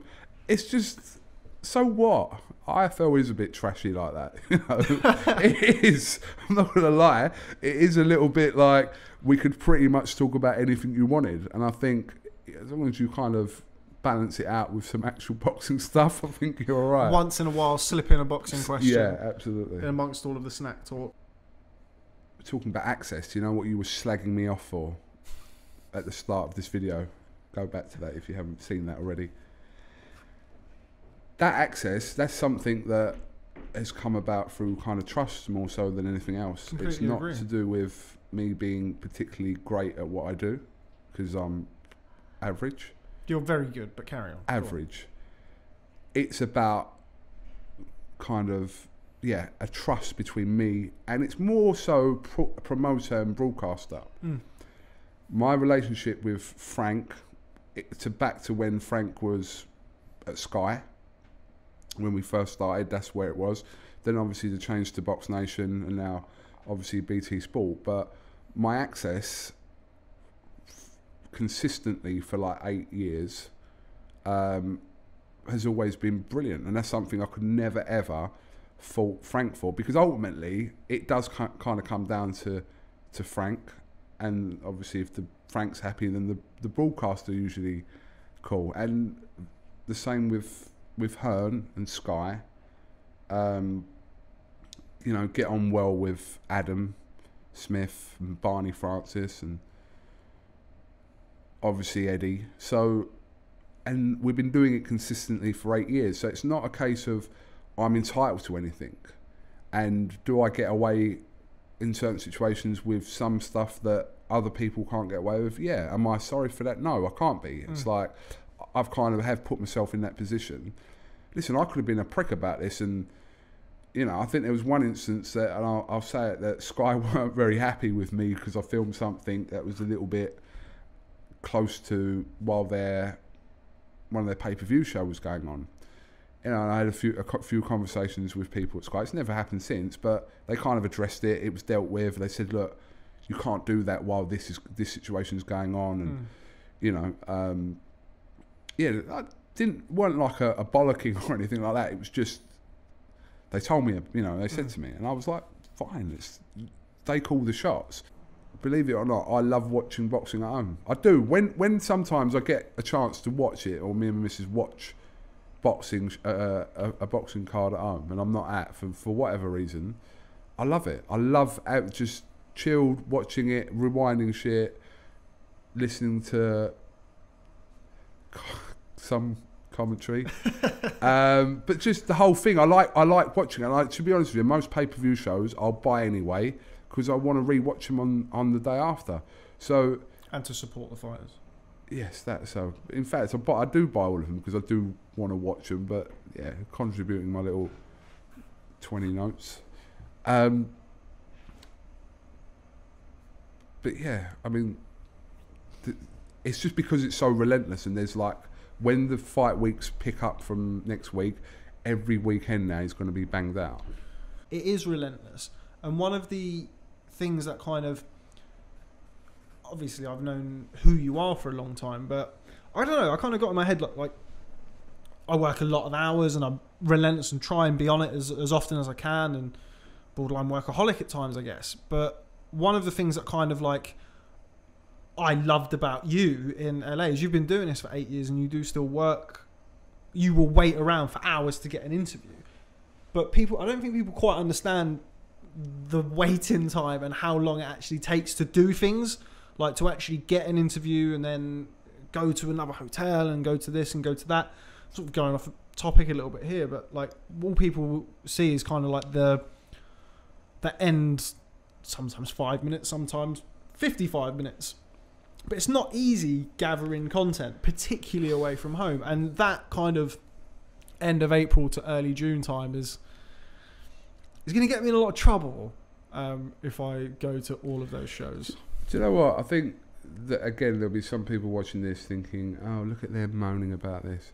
It's not that a at all, It's not like- a moan. It's just, it's not a moan I at all. I would not trade my job in for anything in the world for sure, but it No. doesn't mean that it's not difficult. No, unless you're doing it, and I, I, I kind of get that with the guys I've got with me at the moment, like um, Umar and Andy and, and Wingy. Uh, until they've kind of done a fight week, they don't really. And they've all said to me, didn't really know because Umar and Andy done the Belfast show. the Belfast Yeah. show, which I was on a family holiday, and something that I wasn't ever going to miss for King Kong against uh, you. Uh, Well, actually, if King Kong was fighting you, I probably would have been there for that. No, but I wasn't. That was I was already committed into that, and then it was then announced as that like Frampton, Windsor Park, blah blah blah blah. Then the whole Fury thing, the Wilder thing, Billy Joe Mm. Saunders there. I mean, it's just literally like an IFL wank week. It was, yeah. So, but they did it. You know what? And it was like, and but they kind of realised what it was that week, and it's hard to explain to someone unless you do it. Like you, you cover like a full fight week. Like aside from the fight night, you've got four other days to cover. So you've got a five day week, and um, again, it's not a moan. It's just you just have to do it to know what it entails. I think in this game, this video world. Yeah, Call not it- video journalism. No, let's just call it the online boxing world. Yeah. I think hard work will probably beat natural talent in this. In terms of how far are you willing to go? What are you willing to do? Are you prepared to do this for four years and not earn any money? Which is exactly what we did. Are you prepared to do this for four years? Ask yourself that. Like, that's why a lot of the boxing channels that come on now, and I know the way it works because we've been there. Start a boxing channel. Turn up to big press conferences. You may get you may nab the the big interview. Do that 5 days a week. Do it for 4 years with no profit. It's not even no profit. It costs you money. It ends up costing you. Do you know how many trips I went to? Them Mayweather trips I'm talking about. We didn't have a budget. We didn't have any money coming in. I paid for them Mayweather trips. That's why I was going on my own as well to a lot of them. The Mayweather trips, and I went to loads of American trips. Went to like Purdy Alexander, Rees Broner. I paid for them myself. So you are, you're right. You're not. It's not even. You're not even breaking even. And listen, Hearn, Matchroom, Frank, they've been great, kind of supporting that over the years. Which hats off to them for that because they don't have to do that. They've Don't do, helped. it, don't do it for us. But what I'm saying is, it's like someone saying to you, Rob, right? Go and do a day's work here, but don't worry, we'll we'll we'll give you your train fare there, and we'll get you your lunch. So you might physically not be out of pocket, which is great. At that point, I was like, I'll be happy just not to be out of pocket, but you're physically not going there to actually earn any money. So that was like 2010 to 2014, nothing. Now, it might not sound like anything to anyone, but Go and do your job and no, but that's what you got to apply it to. You got to apply it to any walk of life. Would you commit yourself, or do you commit yourself? And I know people do it. I'm not saying they don't do it. I'm saying you got to go and do this. It's all very well. Listen, I love boxing. You love boxing, but your love of boxing doesn't pay your water bill. Mm. It's true. I'll be honest with you. We didn't know about YouTube revenue for the first two and a half years. Right, nothing from YouTube was. We didn't even know that was a thing, doing it at first. And then I think early checks from YouTube when the, the views. I mean, people think you you earn millions of YouTube. It, it doesn't work like that. People, doesn't. it really doesn't. Like, you know, they, they go, oh, look at that KSI. You know, KSI has got like, I mean, a ridiculous amount of followers and uh, subscribers and things. through the roof as And well, yeah, yeah. So it's a different, it's, different. it's a different league. So never com- compare like KSI numbers to anything in boxing because it doesn't apply. But yeah, it, to do that for that long, but the whole point of it is not quitting on that. That's where I kind of give myself a little Yeah, yeah, no. for not stopping. And then, listen, I'm not saying. I just think it's a difficult thing to make money from now, especially now.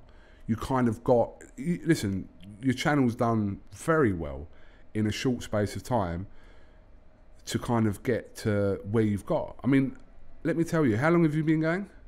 Boxing Social, Yeah, two years. two years. I've been here since May. Our first year. two years, we didn't even have 7,000 subscribers on our channel. Do you know what I mean? Mm. That's why when you look at that and look at how oversaturated the market is now, Mm. and look at that and think, I'm telling you now, I was looking at the subscribers thinking, are they ever going to go up? Mm. Like literally, I think after two years we was on roughly about seven, maybe eight thousand. So it's like it took us a year to get to a million. I remember it took us like thirteen months to hit a million views on the channel, and it was like I thought I cracked it. I've still got a hit list of people that I'm struggling to nail down. It's nothing boxing related. Who well. have you not interviewed? No, oh, so, but- so this is in general. No, I suppose boxing wise, I'd like. I'd like to do something longer with Mayweather. I think my interviews with Mayweather, I've done about three over the, the years, and they've they've not been that long. So I'd, that's what something I would like to do with Floyd, only because I haven't done it. Many other people have. I haven't. Manny Pacquiao is another one that I would love to interview. Never interviewed Pacquiao. Um, and then Dave Allen, obviously. But he's you've interviewed him. I know, but He's still on the list. still on the list. Um, but boxing wise, would I love to interview Al Haymon? Yeah, Absolutely. that's that's the holy grail. which interview is not impossible. Well, it's not going to happen. The But last I'm just saying- registered I'm just saying, recorded would I- interview he would did I- was 1996, I think. Right. I've I've thought about it. So yeah, Al Haymon Have you done anything with Mike Tyson? again a very short, weird interview I did with him many years ago, Many- like about seven years ago. But yeah, he's another one I'd probably want to sit down with Yeah. and do like a long. Yes, absolutely. Um,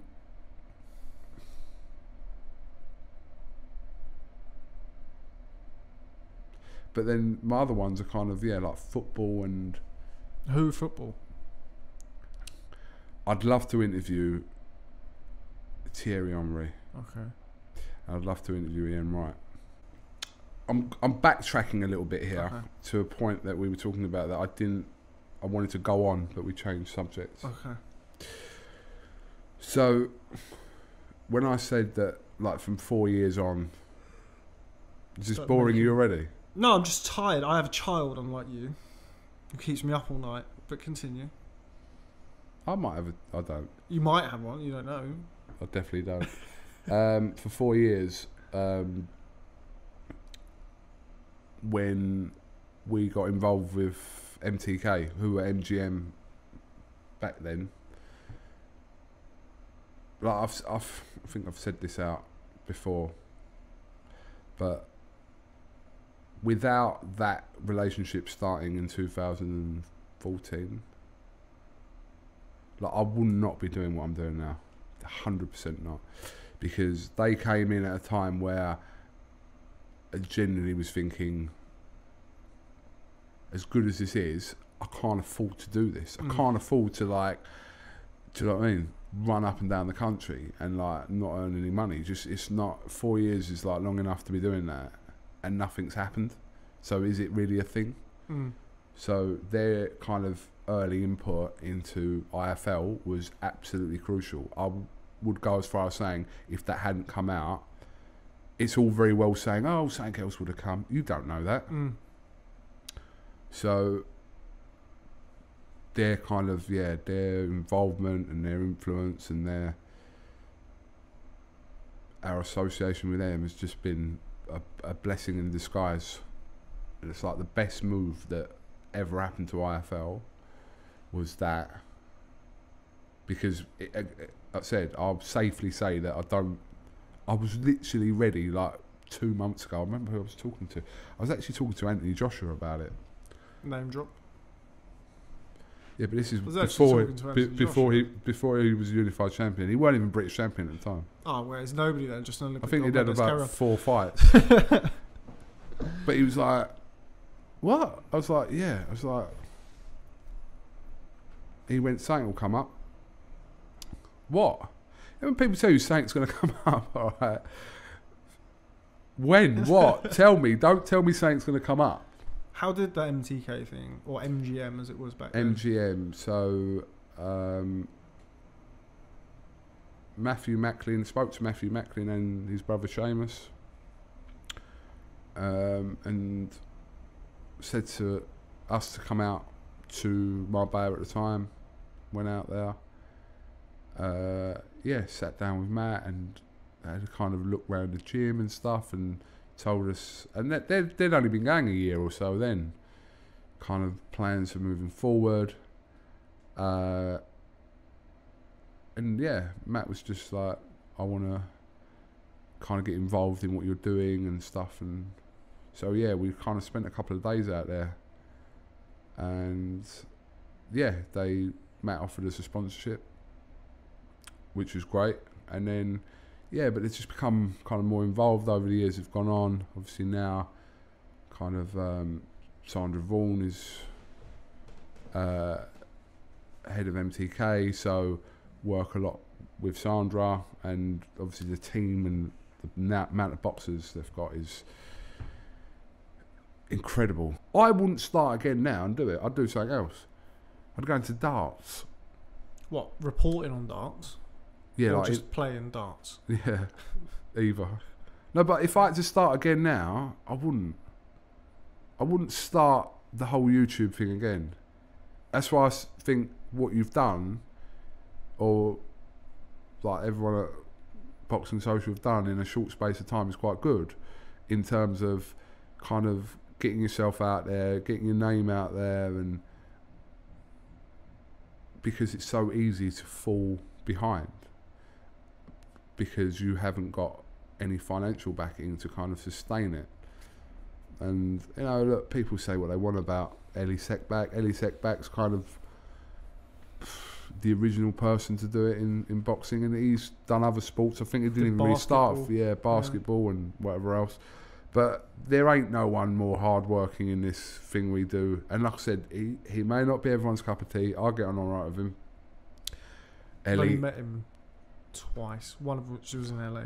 But you see what Elie Elie does. He's like, I, I dread to think when Elie sleeps. He's uploading a video every five minutes. he's in, constantly interviewing someone, and like, I just think, where's your life, Elie? Like, where is your life? But fair play to him because he was kind of, you know, and look, I'm not a hater of like, and I know you're not either. It's like everyone's doing their thing, and we are in kind of. I look at it as friendly competition. I don't look at it like I don't want you to do well. I want. Do I want more numbers on my videos? Absolutely. Of course, yeah. of do you want more numbers on your videos? Absolutely. Do I want you to kind of not do well? No, absolutely not. Do I want you not to earn money and kind of cover the sport that you love? No, absolutely not. But I think people are kind of look at competition as a it's a kind of a fuck you attitude, Mm. like, and I get on with to a certain degree with with everyone. Whether they get on with me, I don't know. but you know, everyone's got their opinions about everyone, and I res- like I said, everyone who's kind of turned their their thing into a business. That's the thing, because you've got to turn it into some sort of business. If you don't, you're doing it out of the love of sport, which is fine, but accept it. It's that. Um, I think the fact that you're on here kind of shows that, doesn't Oh. it? I mean, if you were territorial in any way, you wouldn't be on. Listen, I've told you before. Again, I'm not going to mention names. I've had other channels write emails and shit about me, complaining about the access I get. hmm I mean, shit like that. I just think, why? Why? Like, I've never brought it up, as in to them, because I just find it irrelevant. But I've had other YouTube companies message people at, at different companies within boxing, complaining about why why am I given certain access and they're not. And I fucking know it was you, Tebber. it definitely wasn't Tebber. no, but wasn't me. Okay, well, well, this has been Rob Tebbutt for our boxing social, and uh, that's not how no, hold talk. on, let me do. it.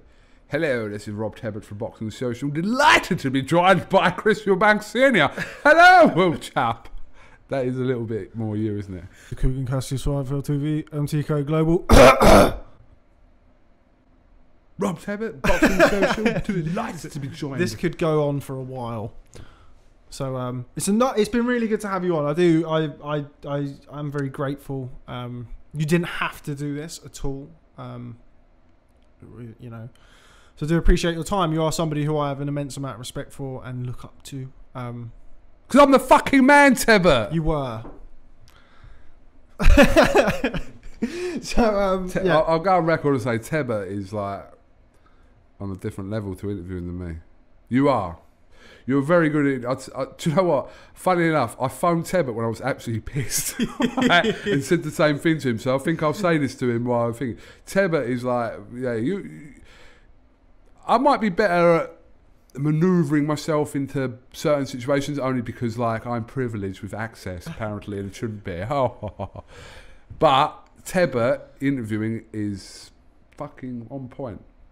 Yeah, man. Thanks very much. It is far better than me. I mean, I'm borderline blagger, aren't I? Like just just there, aren't I? Someone said to me, I was like, I'm just a man with a camera. I call myself a prick with a camera. I thought that's a bit harsh, but I'm just man with a camera with the ability to say words and remember certain things at the same time. That's it.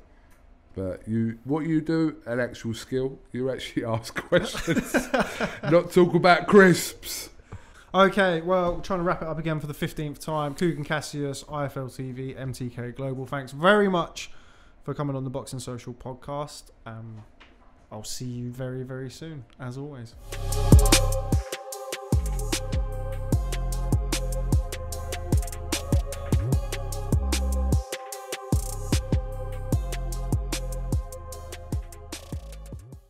So that was outside the box with myself and Kugan Cassius from IFL TV in association with MTK Global. Um, Declan, hopefully that wasn't um, too self-indulgent for your tastes. Um, you're somebody who you have experience on kind of both sides of the fence, as it were, online, print. Um, one of the most knowledgeable print guys around. Um, don't make that face; it's a nice compliment. Uh, where do you kind of stand on the the recent influx, really, of of kind of online? I mean, you're somebody who's been doing this job for an awful long time before certainly the online boom, as it were. Mm. Just your thoughts on the whole online versus print or online situation. I don't think it's any coincidence um, that boxing's popularity has been enhanced as much as it has in recent years. At the same time as that boom you mentioned took place, um, I think the likes of Kugan yourself mean that there's content. I hate that word, but content going out to viewers who otherwise wouldn't be looking at newspapers, um, making them more. I actually have a very good friend um, who is almost more of a fan of online boxing interviews than he is of boxing himself. He got into the boxing in, interview scene before he actually got into boxing, and now he's fascinated. Every time I see him, all he wants to do is talk about boxing because of the back of that. It's done wonders for the popularity, and of course, that has been good for the print media anyway, because the more popular boxing is, the more relevant it is to newspapers, the more space it's likely to get in newspapers. So, um, it has its challenges certainly, um, but those challenges I'm referring to, um, conflicts of interest, etc. They existed before then anyway. Maybe it's complicated things, but I don't. It's certainly not a bad thing for boxing whatsoever. There has been no sport, I don't think, that has benefited more from the social media age than boxing because boxing saw an opportunity.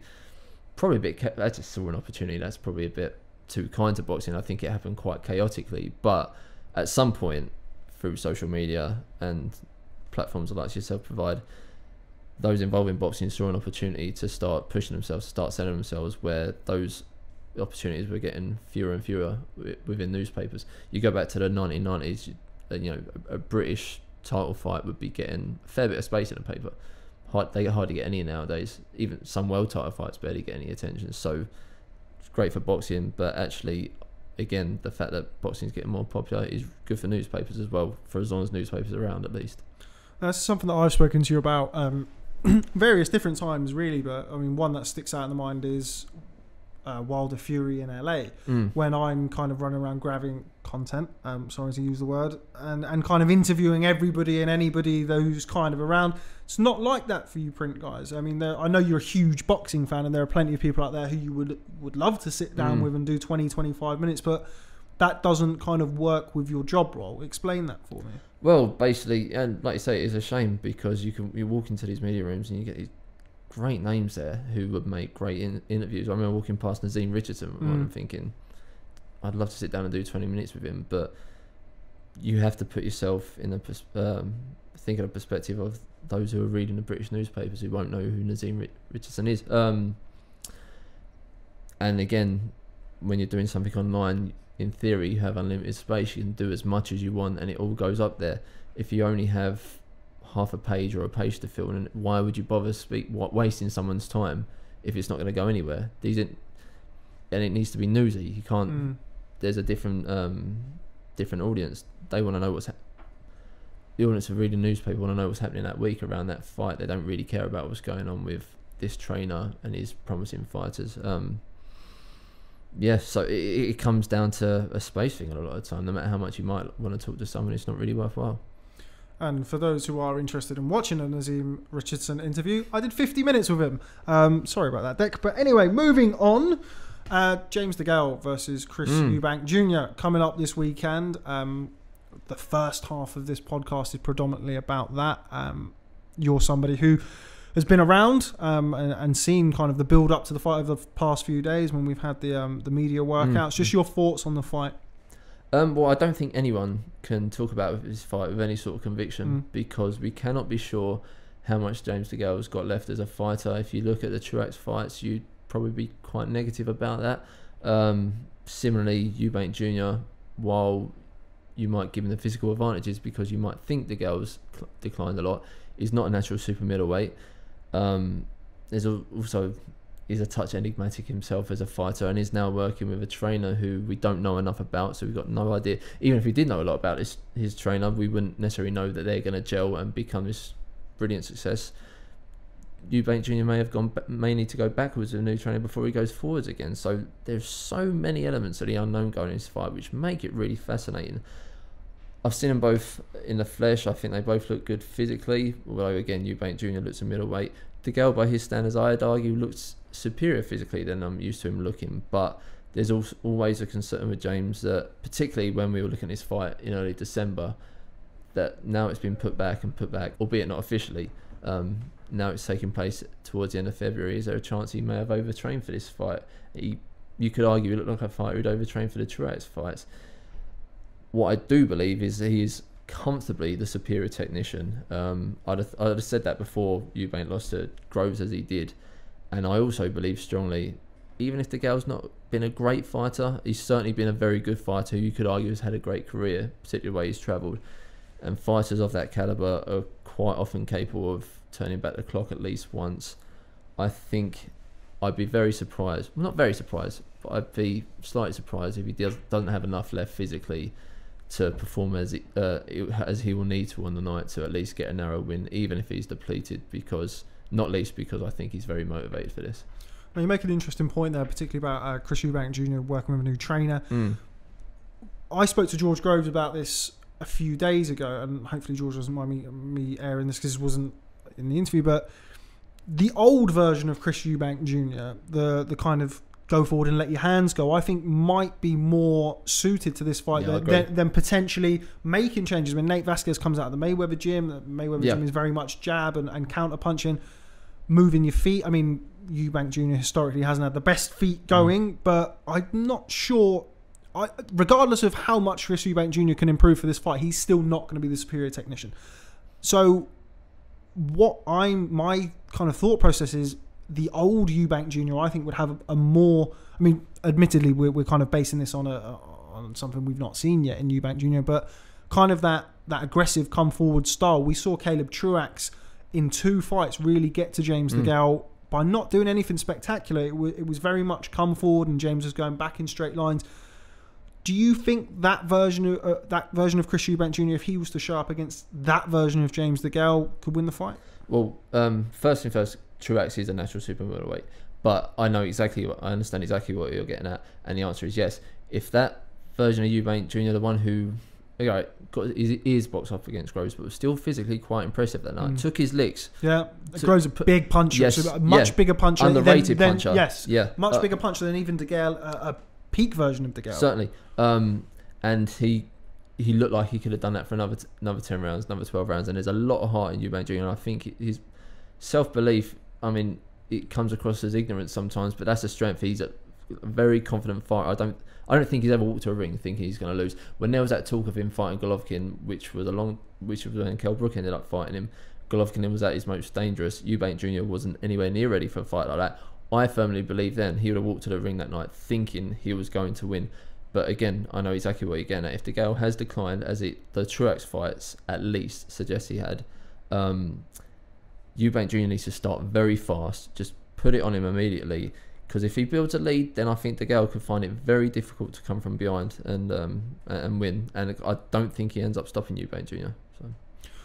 What do you make of the new trainer? Um, I mean, obviously we're yet to see his his kind of methods put into Mm. practice, but I think it's an understatement to say that that's an easy stable to go into or an easy environment to go Mm, into when you've got the likes of Chris Eubank Senior. We've seen Adam Booth come and go in the past. Um, somebody who obviously doesn't take any shit.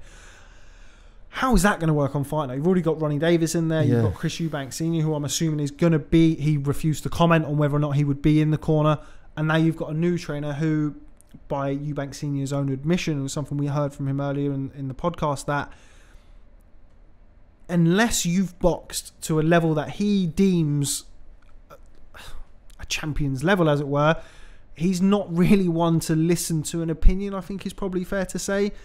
How's that dynamic, if at all, ever going to work in the corner on fight night? That's even before you said that. I did say I wouldn't be surprised if he just doesn't listen on fight night. Um, which again, every now and again with a fighter can be a strength. Um, but it would seem strange not to do so for a fight in which you've drafted someone in because you realise how bad you previously looked by bad. It, certainly in the context of Eubank's potential. Um, and you touched on something else there, which I thought was interesting, which was Eubank Senior not refusing to say whether he'd be in the corner or not. If you read between the lines there, it's not been a happy camp, at least from everyone's perspective. Maybe Eubank Junior's perfectly happy, maybe the new trainer's perfectly happy. I don't get the impression everyone is convinced by the dynamic there that they thought the new trainer was necessarily the right the right move to go in.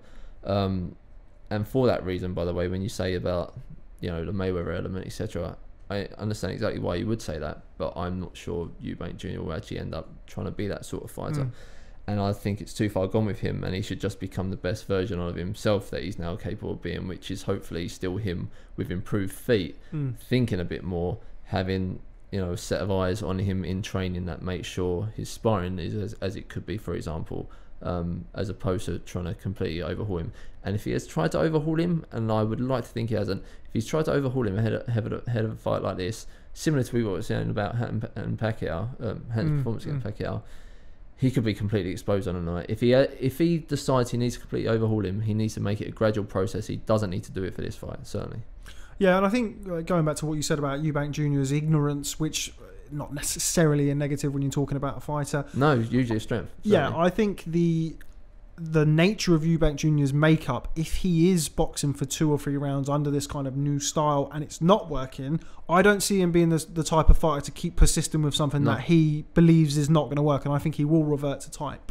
Yes, certainly. And actually, I think he'd be right to as well because um, DeGale's at his best when he gets into a rhythm. If DeGale wins the first few rounds, gets some confidence. I know he has a really bad habit of switching off, Mm. and that could actually make it interesting itself because if that was to happen at the same time, for example, that Eubank Jr. suddenly des- decides to revert to type, then completely changes the fight. But um, yeah, if, if you're losing, I mean, take all fighters, all individual involved in this um, out of the equation anyway. If you're losing, you do need to do something differently. But I am convinced, as by the sounds you are, um, if you if things aren't going as Eubank Junior wants, and he's been told to do something to instructions, he'll stop doing things to instructions, and he'll probably end up doing what he normally does. Um, just lastly, before we wrap up, we've we've brought his name up intermittently throughout this. George Groves announced his retirement from the sport. Um, George is somebody I know that you covered an awful Yeah. lot throughout his career. Terrific career. Brilliant career. Um, I'd argue probably just didn't have the defining win I thought he was capable. I remem- really remember when he came on the scene and just being convinced we have a real talent on our hands here. Um, around the time he was fighting Kenny Anderson, uh, for Mm. example, really good fight. And I know he made hard work of that, but that's often part of the learning curve for a Mm. fighter. And you just think if he got that first Froch fight, if that had gone as Groves hoped it was going to, as it was threatening to go, I still think he was on the verge of getting stopped in that fight, even had the ref not intervened as he did. Then he would have had that real, real defining victory. But that that he didn't have that, that he had those setbacks, um, that he had so many obstacles overcome, and by the way, that he did it also independently, which is Mm. really admirable and really unusual nowadays. Just actually became the story of Groves' career, like that independence, that persistence to keep going when he'd had so many setbacks to eventually succeed as he did. and yeah, you just you hope he seemed a very satisfied man, Mm. and not in a remotely smug way. I mean that in, in the kindest possible way. Just seemed content to be retiring. You just hope he doesn't get tempted back. I, and he didn't come across like a fighter who will be tempted back. Um, earned all the success he got, and I suspect was ushered towards retirement by some of the things he experienced in his the Yeah, other Gutknecht fight. yeah um, he had a tough career Groves and probably doesn't get enough credit Mm. sadly because he was really entertaining my sort of fighter who you know and what I mean by that is his fights were generally quite clean they rarely became too scrappy always had that right hand cocked fought with a lot of spite with power backed himself he got hurt quite a few times and hurt by fighters who sometimes were below the level you thought he was Mm. but he never fought with any sort of fear. He was never. We were talking about Eubank, Eubank Jr. a minute ago. Groves is an ignorant fighter, but that was one of his strengths. One of the things that made him so entertaining. Um, yeah, great career.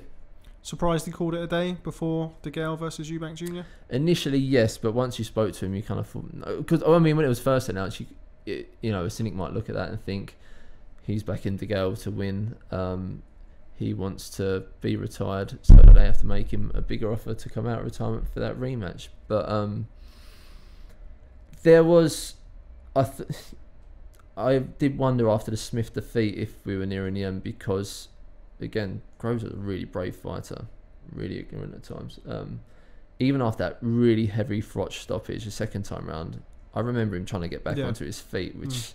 how that was even capable is remarkable. Um, how he was even capable of that is remarkable. Against Smith, and he was right to do so, by the way, and that's probably experience, but I don't think it was just down to experience. I think it was due to the hunger being gone a Mm. little bit.